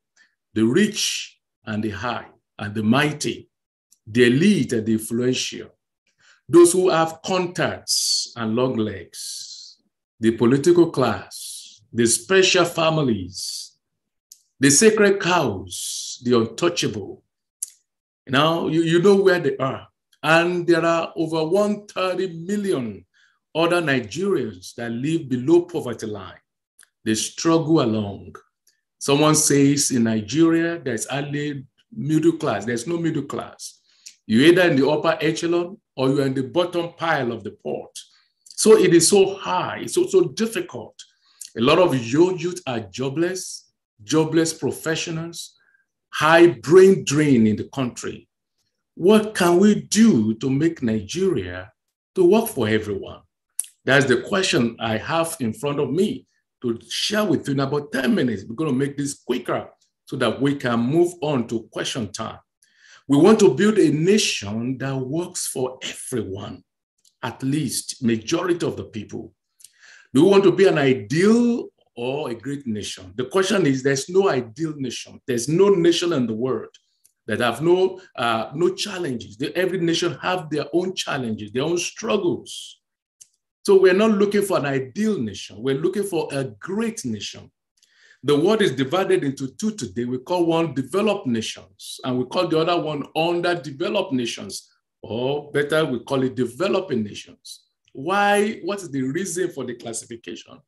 Because in developing nations, things seems to work better the rule of law is followed. The middle class is empowered. And so people are fulfilling their dreams, fulfilling their, their, their expectations. But the developing or underdeveloped nations, the rule of law doesn't work. The, the poor are trampled upon and they are yelling and crying for help. We're looking for a great nation, not necessarily an ideal nation. So in the next few minutes, I'm just going to touch on the qualities of a great nation. Mr. Durotoye has helped us to understand where value is, what value we must have. Dr. Fadele showed us the Nigeria of the past. What made Nigeria great? People tell story today. Say, wow, we love Nigeria of those days. And many of the young people today, they don't even know what you're talking about. They never witnessed it. If you are 35 years or 40 years, you probably have never seen a, a nation that has worked. All the kind of leaders you have seen all your 30 years of existence is things that don't work. And of course, the, the future of the nation, of the country, is in, is in jeopardy because people do what people see. If I'm 35 years old and I've never seen a nation that is working, then when I become a leader and I'm, uh, I'm a leader in this nation, then I, I don't know how to lead. I don't know what to do. What are the qualities of a nation? Dr. Sam talks about leadership. The leadership piece is very essential. So run with me for these 10 things very quickly that will make us to be a great nation. If you're someone you have influence over, a friend, a family, you want to share this with, with them. What will make Nigeria to be a great nation? There are 10 things there. Number one eh, is the freedom. Freedom. Any nation where there is liberty and freedom is a nation that is working. If there's no liberty, if there's no freedom, If this democracy does not work in that in, in the nation, then that nation is not working. Freedom in a nation is the core of what makes a nation to, to work, to be effective. Number two is justice and strong desire for equality in our society, making sure the right of everyone are protected regardless of who they are, where they live, what ex- where they were born. That is what makes a nation to be strong. A nation with a strong judicial foundation, with, where the rule of law works no scapegoat, no sacred cow. That is what will make Nigeria to be a great nation where nobody's right is trampled upon. You get into the on the on the road, depending on which car you are driving, or you don't even have a car. A policeman can just stop you and molest you. And of course, nobody to come to your rescue, nobody to defend you. You don't have a personal lawyer, you don't have any access to anyone. They put you in jail, then you are there. Nobody remembers you are there. A nation that is great is a nation where justice prevails. According to the World Justice Project, they say there are 4.4 billion people that live in a country where rule of law is declining. And I look at the statistics just to show, share some of this with you. Out of 140 countries, Unfortunately, Nigeria, our country, is 118. We are on the red line. You could see that on, the, on this chart. 118, very poor score. Rule of law is a challenger nation. This is a fact. This is not a makeup. This is a fact of the, of the case. We want to be in the blue-green level where nations are respect other uh, human rights. They respect other human beings, you can count on it that the law will be on your side if you do the right thing. Now, number three, number two, you see fundamental human right. Nigeria is 113 out of 140. Very poor score indeed. Any nation that is out of 50 and above is fundamentally flawed. That is what we're talking about. Justice need to work for everyone. Number three, what will make a great nation? Number three is patriotism, a nation where people choose their nation above their self interest. I'm sure many of you can relate with this. A whole lot of people, Mr. Ruto mentioned, they are rulers, they're not leaders. The moment they get into that government, they forget who they are there to serve. They serve themselves. A nation where people choose their nation above their self interest. We're told memory lane Many years ago, Singapore was looking out to Africa, maybe for leadership. Singapore was a poor, underdeveloped nation. And they were coming to Africa, coming to Ghana, coming to Nigeria to see what, what, what, what change, what they could borrow, what they can take back their country. We're told the leader of that country at the time, when he related with the leaders from Ghana, leaders from Nigeria, said. We don't want to be like this. These, these folks, these leaders or these rulers, they are going to sell their country. They are going to, to going to destroy their nation. It, cho- it, it chose a different path. Today, we're told Singapore is among developed nations. Why? Because the leadership choose their nation above their self-interest. Many young people today, when you talk to them, I mean, right there, right from college, from university, they tell you, know, when I become this or become that, I am just going to take this, take that for myself. See, they already seen it, they already targeting it. That is the nation of the future. But I pray that we don't end like that. A nation that works is a nation where patriotism is a value to everyone. And what are the components of patriotism? Number one says affection towards one's country. You love your country.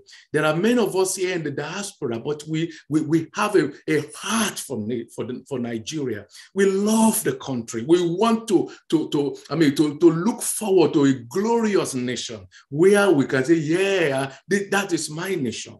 It is called affection.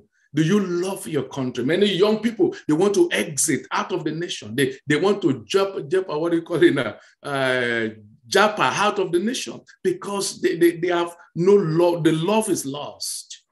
Patriotism. Number two, interest in country's welfare. National pride. Number three, national pride, identity. This is something that we need to be taught right when we were in primary school, when we were in secondary school. I remember when I was in primary school, we sing some, some national item. We, we sing some patriotic so that make you feel good you're in Nigeria. Nigeria are proud to be who they are. You go out now these days, this age, at the airport, they look at your passport, it's a green passport, you feel ashamed because they separate you from the from the pile, from the crowd. That is a challenge. Many of us, we don't have that, that pride anymore. A nation of national pride, identity. In America here today, people say, I'm proud to be an American. One need to have that also. In Nigeria, I am proud to be a Nigerian. Number four, a patriotic uh, citizenry is a is uh, a kind of that sacrifice for the country when you go to war for your nation when you are willing to lay down your life for your country so number three we talk about patriotism number four is excellence how can we become a great nation? Where does Nigeria go from here? How can Nigeria work for everyone? We have to have excellence in our mind mindset. People work with all the art and take pride in what they do no cutting corners, no, no, no, no. Uh, you know, people tell us today when you go to work by Friday noon or five, you don't even show up on the job. People take time off and they are on vacation on a working day. See, excellence is diminishing. If we can build excellence to our country, to our nation, we will become a great nation. Number five is morality. I'm not going to spend more time just to bring this uh, highlight and wrap it up. For all the speakers have said today, we want a, a, nation, we dream of a nation that work for everyone. We dream of a nation where immigrants from other places will come to Nigeria we're looking forward to a time where Nigeria will become the, the hotspot for, for, for people from all over the world that they want to live in Nigeria. But is that possible? Number five, morality, a clear sense of morality that resides in the heart of the people, guiding them like an inner compass as to what is right and wrong. Just like the values we were just told a few moments ago integrity, ethics, respect, honesty. This thing begins with us, and all of us need to learn to practice it. If we think about those who go to church, who go to mosque, if we practice what we are told in the church, I guess we may get rid of corruption in our country. It starts with you. It starts with every one of us. To make Nigeria a great nation, we must begin with ourselves. Do what is right, not what is easy. Looking at the next chart, they say corruption index, corruption index of our country. I took time to do this research statistically. It says Nigeria is 120 out of 140 countries in terms of corruption index. We're only better than 20 countries. That is very sad. And these are the things that we need to look at critically. I say this needs to change the Nigeria of our dream is where we want to be in the in, the lower numbers, where we are. We, we can say anytime you come to Nigeria, Nigeria takes care of you. Nigeria is a country where they respect rule of law and where they hate corruption. Number six, a merciful nation, a society, society that looks after the poor and needy without judging their status or why they are in that situation. We want to build our middle class people. That is really the key here. We need to build our middle class.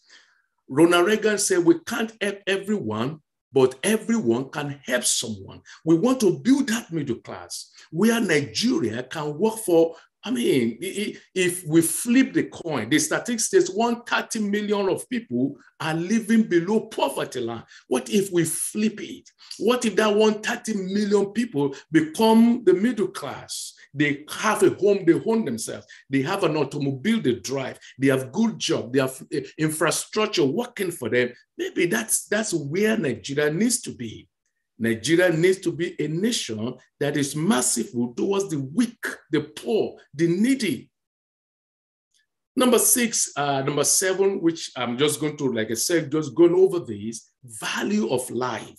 a high value of life placed on all on all life. No effort is spared to ensure that lives are preserved and extended, creating value for life. That is the Nigeria of our dream.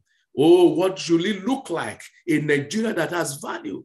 Remember recently in Sudan, the crisis in Sudan. You know, everybody ran for their life. People were fleeing the nation. In fact, United States sent a warship. Can you imagine a warship to go and rescue the Americans in Sudan? What happened to Nigerians in, in Sudan? They were left behind. It took a while. It took time. No organ. Every, it looks like our value for life. Our, we are come last in these things. The other time Ukrainian crisis happened also, it took a while. What is our value for life? We need to step off our people. That is a Nigeria that works for everyone. Number eight, Nigeria that works for everyone is Nigeria of creativity, where creativity flourishes as people speak better ways to express and to serve each other. That is what we need to have in our country. Oh, I see a lot of talent in our nation, a lot of creativity. We think about it all over the world.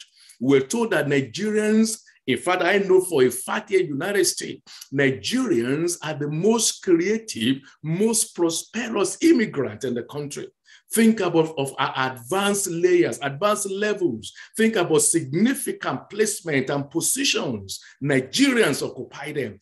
Oh, we have lost quite a lot in our country. People have left the nations, go to other nations. What happened is we have talents, we have creativity, but we lack platforms and enabling environments. Nigeria of our dream is a Nigeria that create platform and enabling environment where we can help our young people. There are a lot of wasted youth, wasted brain, high brain drain, high unemployment. You know, think about that. The Nollywood movies is popular around the world today. You know, after uh, Hollywood and Bollywood, the next we're talking about is Nollywood. Other Africans, they, they talk about Nigeria, that, wow, Nigerians. One, one fellow reached out to me the other, they say, wow, you Nigerian, you are so bold. You are so, you, you, you are so strong. You, there's nothing you, you, you can confront anybody. There's no job that scare you. There's no position you don't apply for. And I begin to think about that, that Nigerians, by the grace of God, we were, we were special creation of God, creative in every way. That's what Nigerians are. But what we do not have is platforms, enabling environment, structures that work for everyone. As I wrap this short presentation, we need a country, the Nigeria of our dream is where there's opportunity, where creativity is allowed and enabled. People are able to do what they are, are born to do creative environment, enabling environment, infrastructure. There are four things right there. Infrastructure needs to be. You must say, well, what you are talking about is a lofty idea, looks impossible in the current Nigeria, but yes, even though it's far-fetched, but it can happen. I have seen it and I've seen the potential, the possibility. It is possible if we have the enabling environment, equity, justice, and peace. If these four things combine together, they provide an enabling environment for creativity to manifest. Nigeria of our dreams is a Nigeria that works for all. Nigeria that we all can be proud of. Finally, Nigeria of our dream is a place where stewardship, we are stewards of, of the resources, the properties, the environment, and we look after them for the generations to come. That is the Nigeria of our dream. If you have touch, if, if you have contact, anyone you know that you have influence over, these are 10 things Nigeria should look forward to, the values we must create, the agenda we must set, Maybe the government may listen to these things. Maybe some individuals out there in the place of authority may begin to pay attention to this. It is possible that Nigeria can work for all. Yes, don't be a doubter. Let's be positive. It is possible. We know what Nigeria looked like in the past. We know what it is right now, the challenge we're dealing with. But now we can, we're looking forward to the future. What is the future looking like for Nigeria? I have hope. I have confidence that one day we're going to get there. You and I, we're going to arrive just like Martin Luther King said, I have a dream. I have a dream. And that dream became a reality in America. I pray today that Nigeria of our dream will become a reality and it will work for us. Thank you for listening. God bless you. Wow, wow. Let's celebrate Dr. Tofade. Let's celebrate him. Thank you so much. Very, very, you know, succinct and practical, deliberate things that we can do to move forward as a nation. He gave us 10 qualities of a great nation. And one of the ones that I really hold to heart is patriotism. It was the number three quality that he talked about because I, I think that is lacking. So many things he talked about that reiterates, you know, what we've been hearing and again, it ties into values, values that we can hold as a nation about being merciful, the practicality of being merciful, of valuing the life of our neighbor, of the next person, of creating platforms for us to display such beautiful nation. You know, Dr. Adeyemi was talking about how in all of the 36 states, you know, apart from oil, each state had two mineral resources. I I did that is my it's mind blowing. So we have so many opportunities, and he talked about that too, creating opportunities, creating stewardship, but creating platforms for us to really display what God has blessed us for. We are really, really grateful for these insights this afternoon. Um, there's so much here. And I'm so glad that this is on YouTube and we can go back again and listen and take note and share this with friends and family. Thank you so much again, Dr. Tofade. Can we celebrate him one more time and all of our speakers? Now, at this time, we have very limited time for questions. Well, there, there are a few things that have co- gone ahead and I'm going to start with the first question that was posed in the chat. If you have questions, please know that because of our time, we may not be able to get to all of them, but we'll try our best. And we ask that our speakers please try to be, you know, uh, straight to the point and um, as concise as possible because of our time. Now, the first question is for Dr. Fadele. And the question is, how can Nigeria go back to true federalism? How can Nigeria go back to true federalism?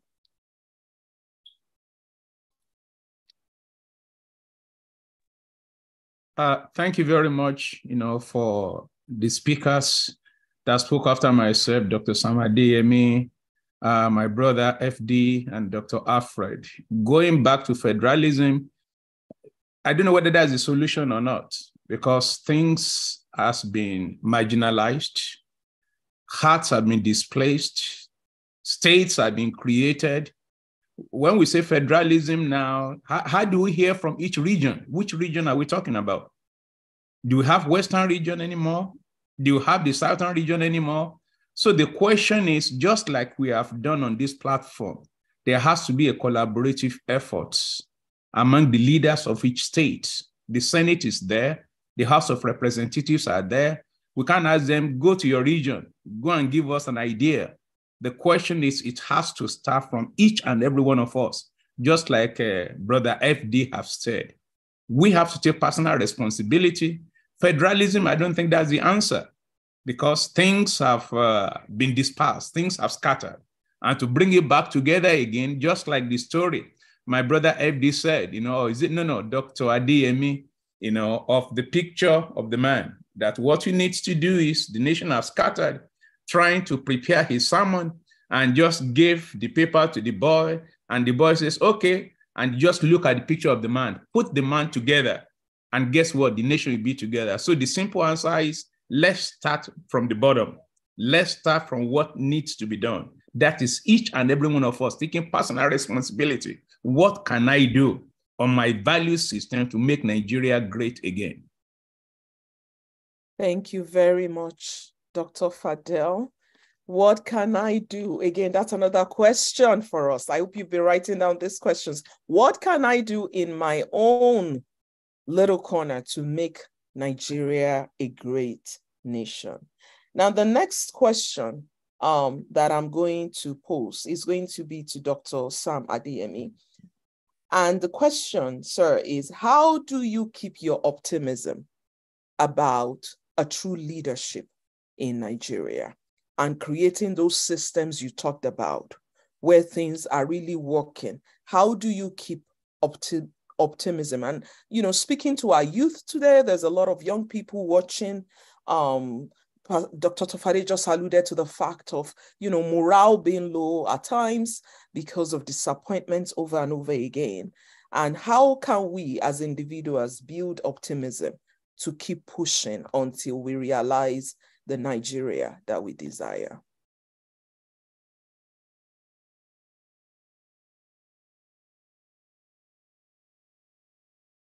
If Dr. Adeyemi is not available, please, any of the speakers can talk a very concise response about how do we keep our optimism.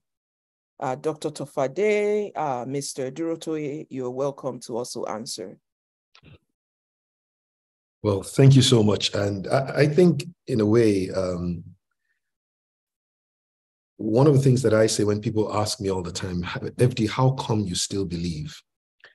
And, and one of the things that I say first and foremost is that I have a word from God concerning Nigeria. And there have been prophetic words over Nigeria. Um, one of the times when I um, I was asking God, can this nation, will, are, you, are you sure your intention for this nation will still be? God said to me, Do you know any man who will invest in a place and turn his back on it? I said, Well, no. He says, So if no man will do that, do you know any country that is more blessed than Nigeria? And I said, Well, not that I know of. He says, So how could I bless Nigeria so much and turn my back on Nigeria? So that's one part of it. The second part is that every time I look at, you know, in a way, it's almost like a seek and you will find. When I look for bright spots across this gross darkness, I find, I find a Dr. Sam Adeyemi uh, that is that is there and you know Dr. Tofade and and uh, and Dr. Fadele and my sister or uh, uh, my, my my sister Shemu. And when I look at the a lot of young people and a lot of, of people who are doing the right thing, I know that there's coming a time. The voices of those who are doing the right thing are becoming louder and louder and louder. People are beginning to get involved in things that they used to say was not their business. So my point is this: I am seeing a progressive recovery in the value system of Nigeria. Are things getting worse where they are bad? Yes, but things are also getting better. And once you focus on the things that are working, you will have hope. Lastly, when I see guys like this, right, and this is my son who loves Nigeria, who believes in Nigeria, I've got three boys. When I look in their eyes, I know that there is hope for this nation. When I look at the guys who have been properly raised, guys who today, if I was to ask them to raise, to say, what is the values that are driving you? James, can you do that in, in, less than one minute, please? Um, I'm an ambassador of a generation that is empowered. I'm an ambassador of a generation. Go ahead. That is empowered, motivated, and stirred to operate with natural excellence. This day, I hereby commit to live a lifestyle of leadership and excellence, and to do all within my power to transform my country, Nigeria, into the most desirable nation to live in. And to this end, I will make a positive impact on everyone I meet and everywhere I go. I'll be a solution provider and not a part of the problem to be solved. I'll be a role model worthy of emulation. I'll be my best in all that I do, particularly the things I'm naturally good at. I will do the right thing at all times, regardless of who's doing the wrong thing. I will value time and make the best use of it. I will care and show respect to all through my words and my actions.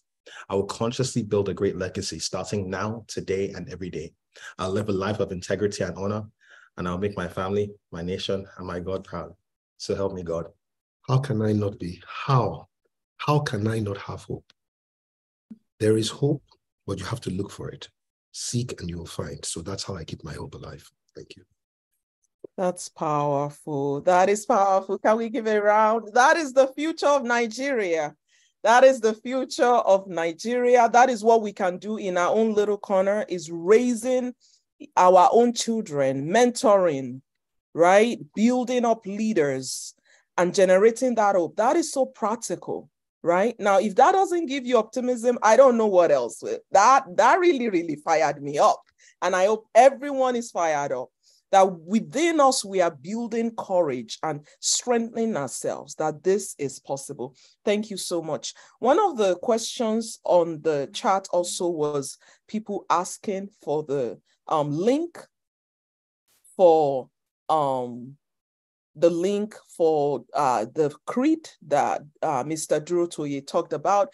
It is W. I will type it on the on the link, but it's www.gemstoneng.net slash creed. Again, that, that will be put on the chat shortly.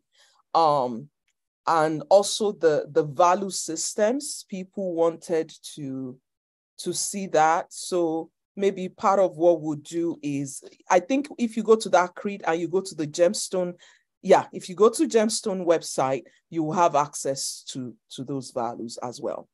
Um, we'll take a couple more questions because of our time. And I think this question is also for Mr. Durotoye. Somebody wants to know how they can get one-on-one mentorship from you as an advocate of the new Nigeria. Well, it's very, very simple. It's actually to just go to www.gemstoneng.net slash join. That will bring you into a, a free um, Gemstone Leadership Network, which is the platform with which I mentor, um, you know, emerging leaders, um, especially who are interested in all the different dimensions of of uh, the stratas of society. Um, and so, please, it's that simple. Just go to www.gemstoneng.net slash join, and you will join the Gemstone Leadership Network. That is the platform that I mentor, especially nation builders um, who have a desire to build Nigeria into a, into a most desirable nation to live, to work, to do business, and to raise the next generation. Um, so please, www.gemstoneng.net. Instead of creed, this time it will be join. And if you do that, it's absolutely free of charge. Okay. Wonderful. And you'll be able to connect. And three things that we do on that platform we learn, we connect, and we access opportunities for advancement, for for for jobs, for scholarships, for different kinds of things that we do. So it's a it's a fantastic every way every Sunday, um, 7 p.m. on Sundays we have uh, a Zoom meeting um, that is a weekly leadership summit. We take one of the values for the week, one of those ten, we we dissect it, and then we have conversations, questions. We have meetings, and it's just amazing what what's going on in that space. Um, and it's like I said, it's it's absolutely free. Uh, so you know please join us if you can. It would be great. Thank you so much. Two things that I like from what you just shared is providing accessibility to everybody. You know, I think one of the things that has really created gap in Nigeria is access, right? To social capital. Uh, Pastor uh, BC Tofade, Dr. Tofade, um, my father in the Lord was talking earlier about how you know, there's a lot of gap, right? Um, the rich are getting richer, the poor are getting poorer. So we thank you for providing access to everyone and providing some kind of equity uh, to have access to those resources. Now, because of our time, what I'm going to do to wrap up is we're going to give each of our speakers 30 seconds, right? Um, what Dr. Tofade talked about is where do we go from now? Now, we've learned a lot today. There's so much. I'm reading some of the comments online, and people are talking about why are more people not here? This is so rich. This is so good. Um, so how do we build on this? We've read this. It's, we don't want to sit on this. This is not something you sit on. You act on this. And so in 30 seconds, we want you to give us a quick insight of what is the next thing that Emerging Leadership Institute is doing. How can we collaborate more? How can we share these values? Very quickly, 30 seconds. I'm going to start with Dr. Tofade, then Dr. Fadele, Mr. Durotoye, and Dr. Adeyemi will round up. 30 seconds, please, because of our time. Thank you. Thank you again. I appreciate all the comments and the speakers. Um, we need to personally take ownership of Nigeria. You know, we can't sit on our hands. That's where it is us versus them. You know, it the, the nation belongs to all of us, whether you live in the country, you're out of the country. It doesn't matter where you live. You know, we're privileged to be born and raised or born and live, but you were born in Nigeria. And we need to take personal ownership. One of the things I love about what uh, Eli, Group is trying to do is look, we need to raise the next generations of leaders. When you read the Holy Scriptures, you hear about a man called Eli. Eli, you could say a lot of negativity about him. He was a failed leader. He didn't do well and all of that. But without an Eli, there will be no Samuel. See, there are Samuels that are coming in the nation, that are raised in the nation. Young people, I want to challenge all of those who complain, who are mad, who are angry about the country. What are you doing about it? See, charity begins at home, raising your own children, your circle of influence in your workplace, in your church. What are you doing in your mosque? If you go to mosque, what are you doing to bring that, that influence upon the land? So I say, let each of us take ownership and contribute what we can in our own little way. At the end of the day, will become massive. Thank you. Thank you very much. Uh, Dr. Fadele? 30 seconds, sir. Yeah, thank you very much. Um, I want to appreciate again all the leaders here. Apostle Paul once tell his followers, follow me like I follow Christ. If there's anything you want to show anybody this, the, the, the, the assignment or the work start with me. What am I going to do different? You know, I just really love what uh, our brother Fola did, brought his son it's not just me talking. Hear what I've taught my children in our synagogues, in our churches, in our lectures. Let us be the light, shine the light. And also, there must be a platform for training. And that's why Eli Institute is there. People do what people see, people do what people have been trained to do. Let us enroll in these classes let us imbibe in the lectures. It's not just reading, it's not just attending, it's not just listening. Act. Let's go back to the old system of ethics where family matters, where you do something wrong, other people's family have corrected even before you get home.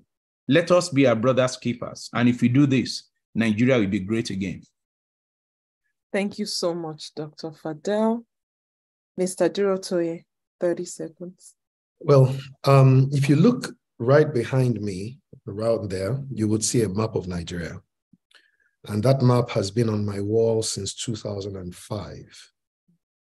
It's a map that is also a mirror. Many times when people come here and say to me, FD, how do we fix Nigeria? I take them in front of the map and I say, what do you see? And they see the, I see myself. I said, well, there is no Nigeria, there's just Nigerians. And if you can be that one, the role model Nigeria, that is the typology of the Nigerian of our dream, then we'll be okay. Number two, if you can be and make a positive influence on others so that your life brings out the best in the people who try to be like you, then we are okay. And I said the third thing if you can find a way to collaborate with other role models who are making a positive influence. And that's it. That's it's that simple. Be a role model, be a positive impact influencer, and then collaborate with other people who are role models and positive influencers. And that's how we build a great nation. Together we can, together we must. By God's grace, together we will build the Nigeria of our dreams. Thank you. Amen. Thank you, Mr. Durotoye. Okay, wrap it up in 30 seconds. It's a tall order. Um, Dr. Adeyemi, over to you. You are muted, sir. You are muted. My apologies. Thank you so much. Thank you, Dr. Shea. You've, did, you've done a fantastic job today. So thank you, thank you, thank you. And my my fellow speakers. Thank you so much. Um,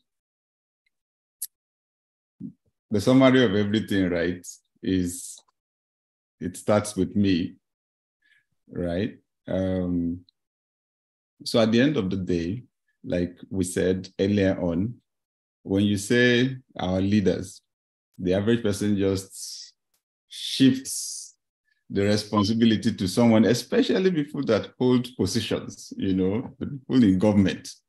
But at the end of the day, um, it's the aggregates, aggregates of all of us, all of our leadership abilities that will determine how fast the country will go. So this is the Emerging Leadership Institute, and it's a platform for training, period. And we just want to say to everyone, they say success is what happens when opportunity meets preparation. Let's prepare.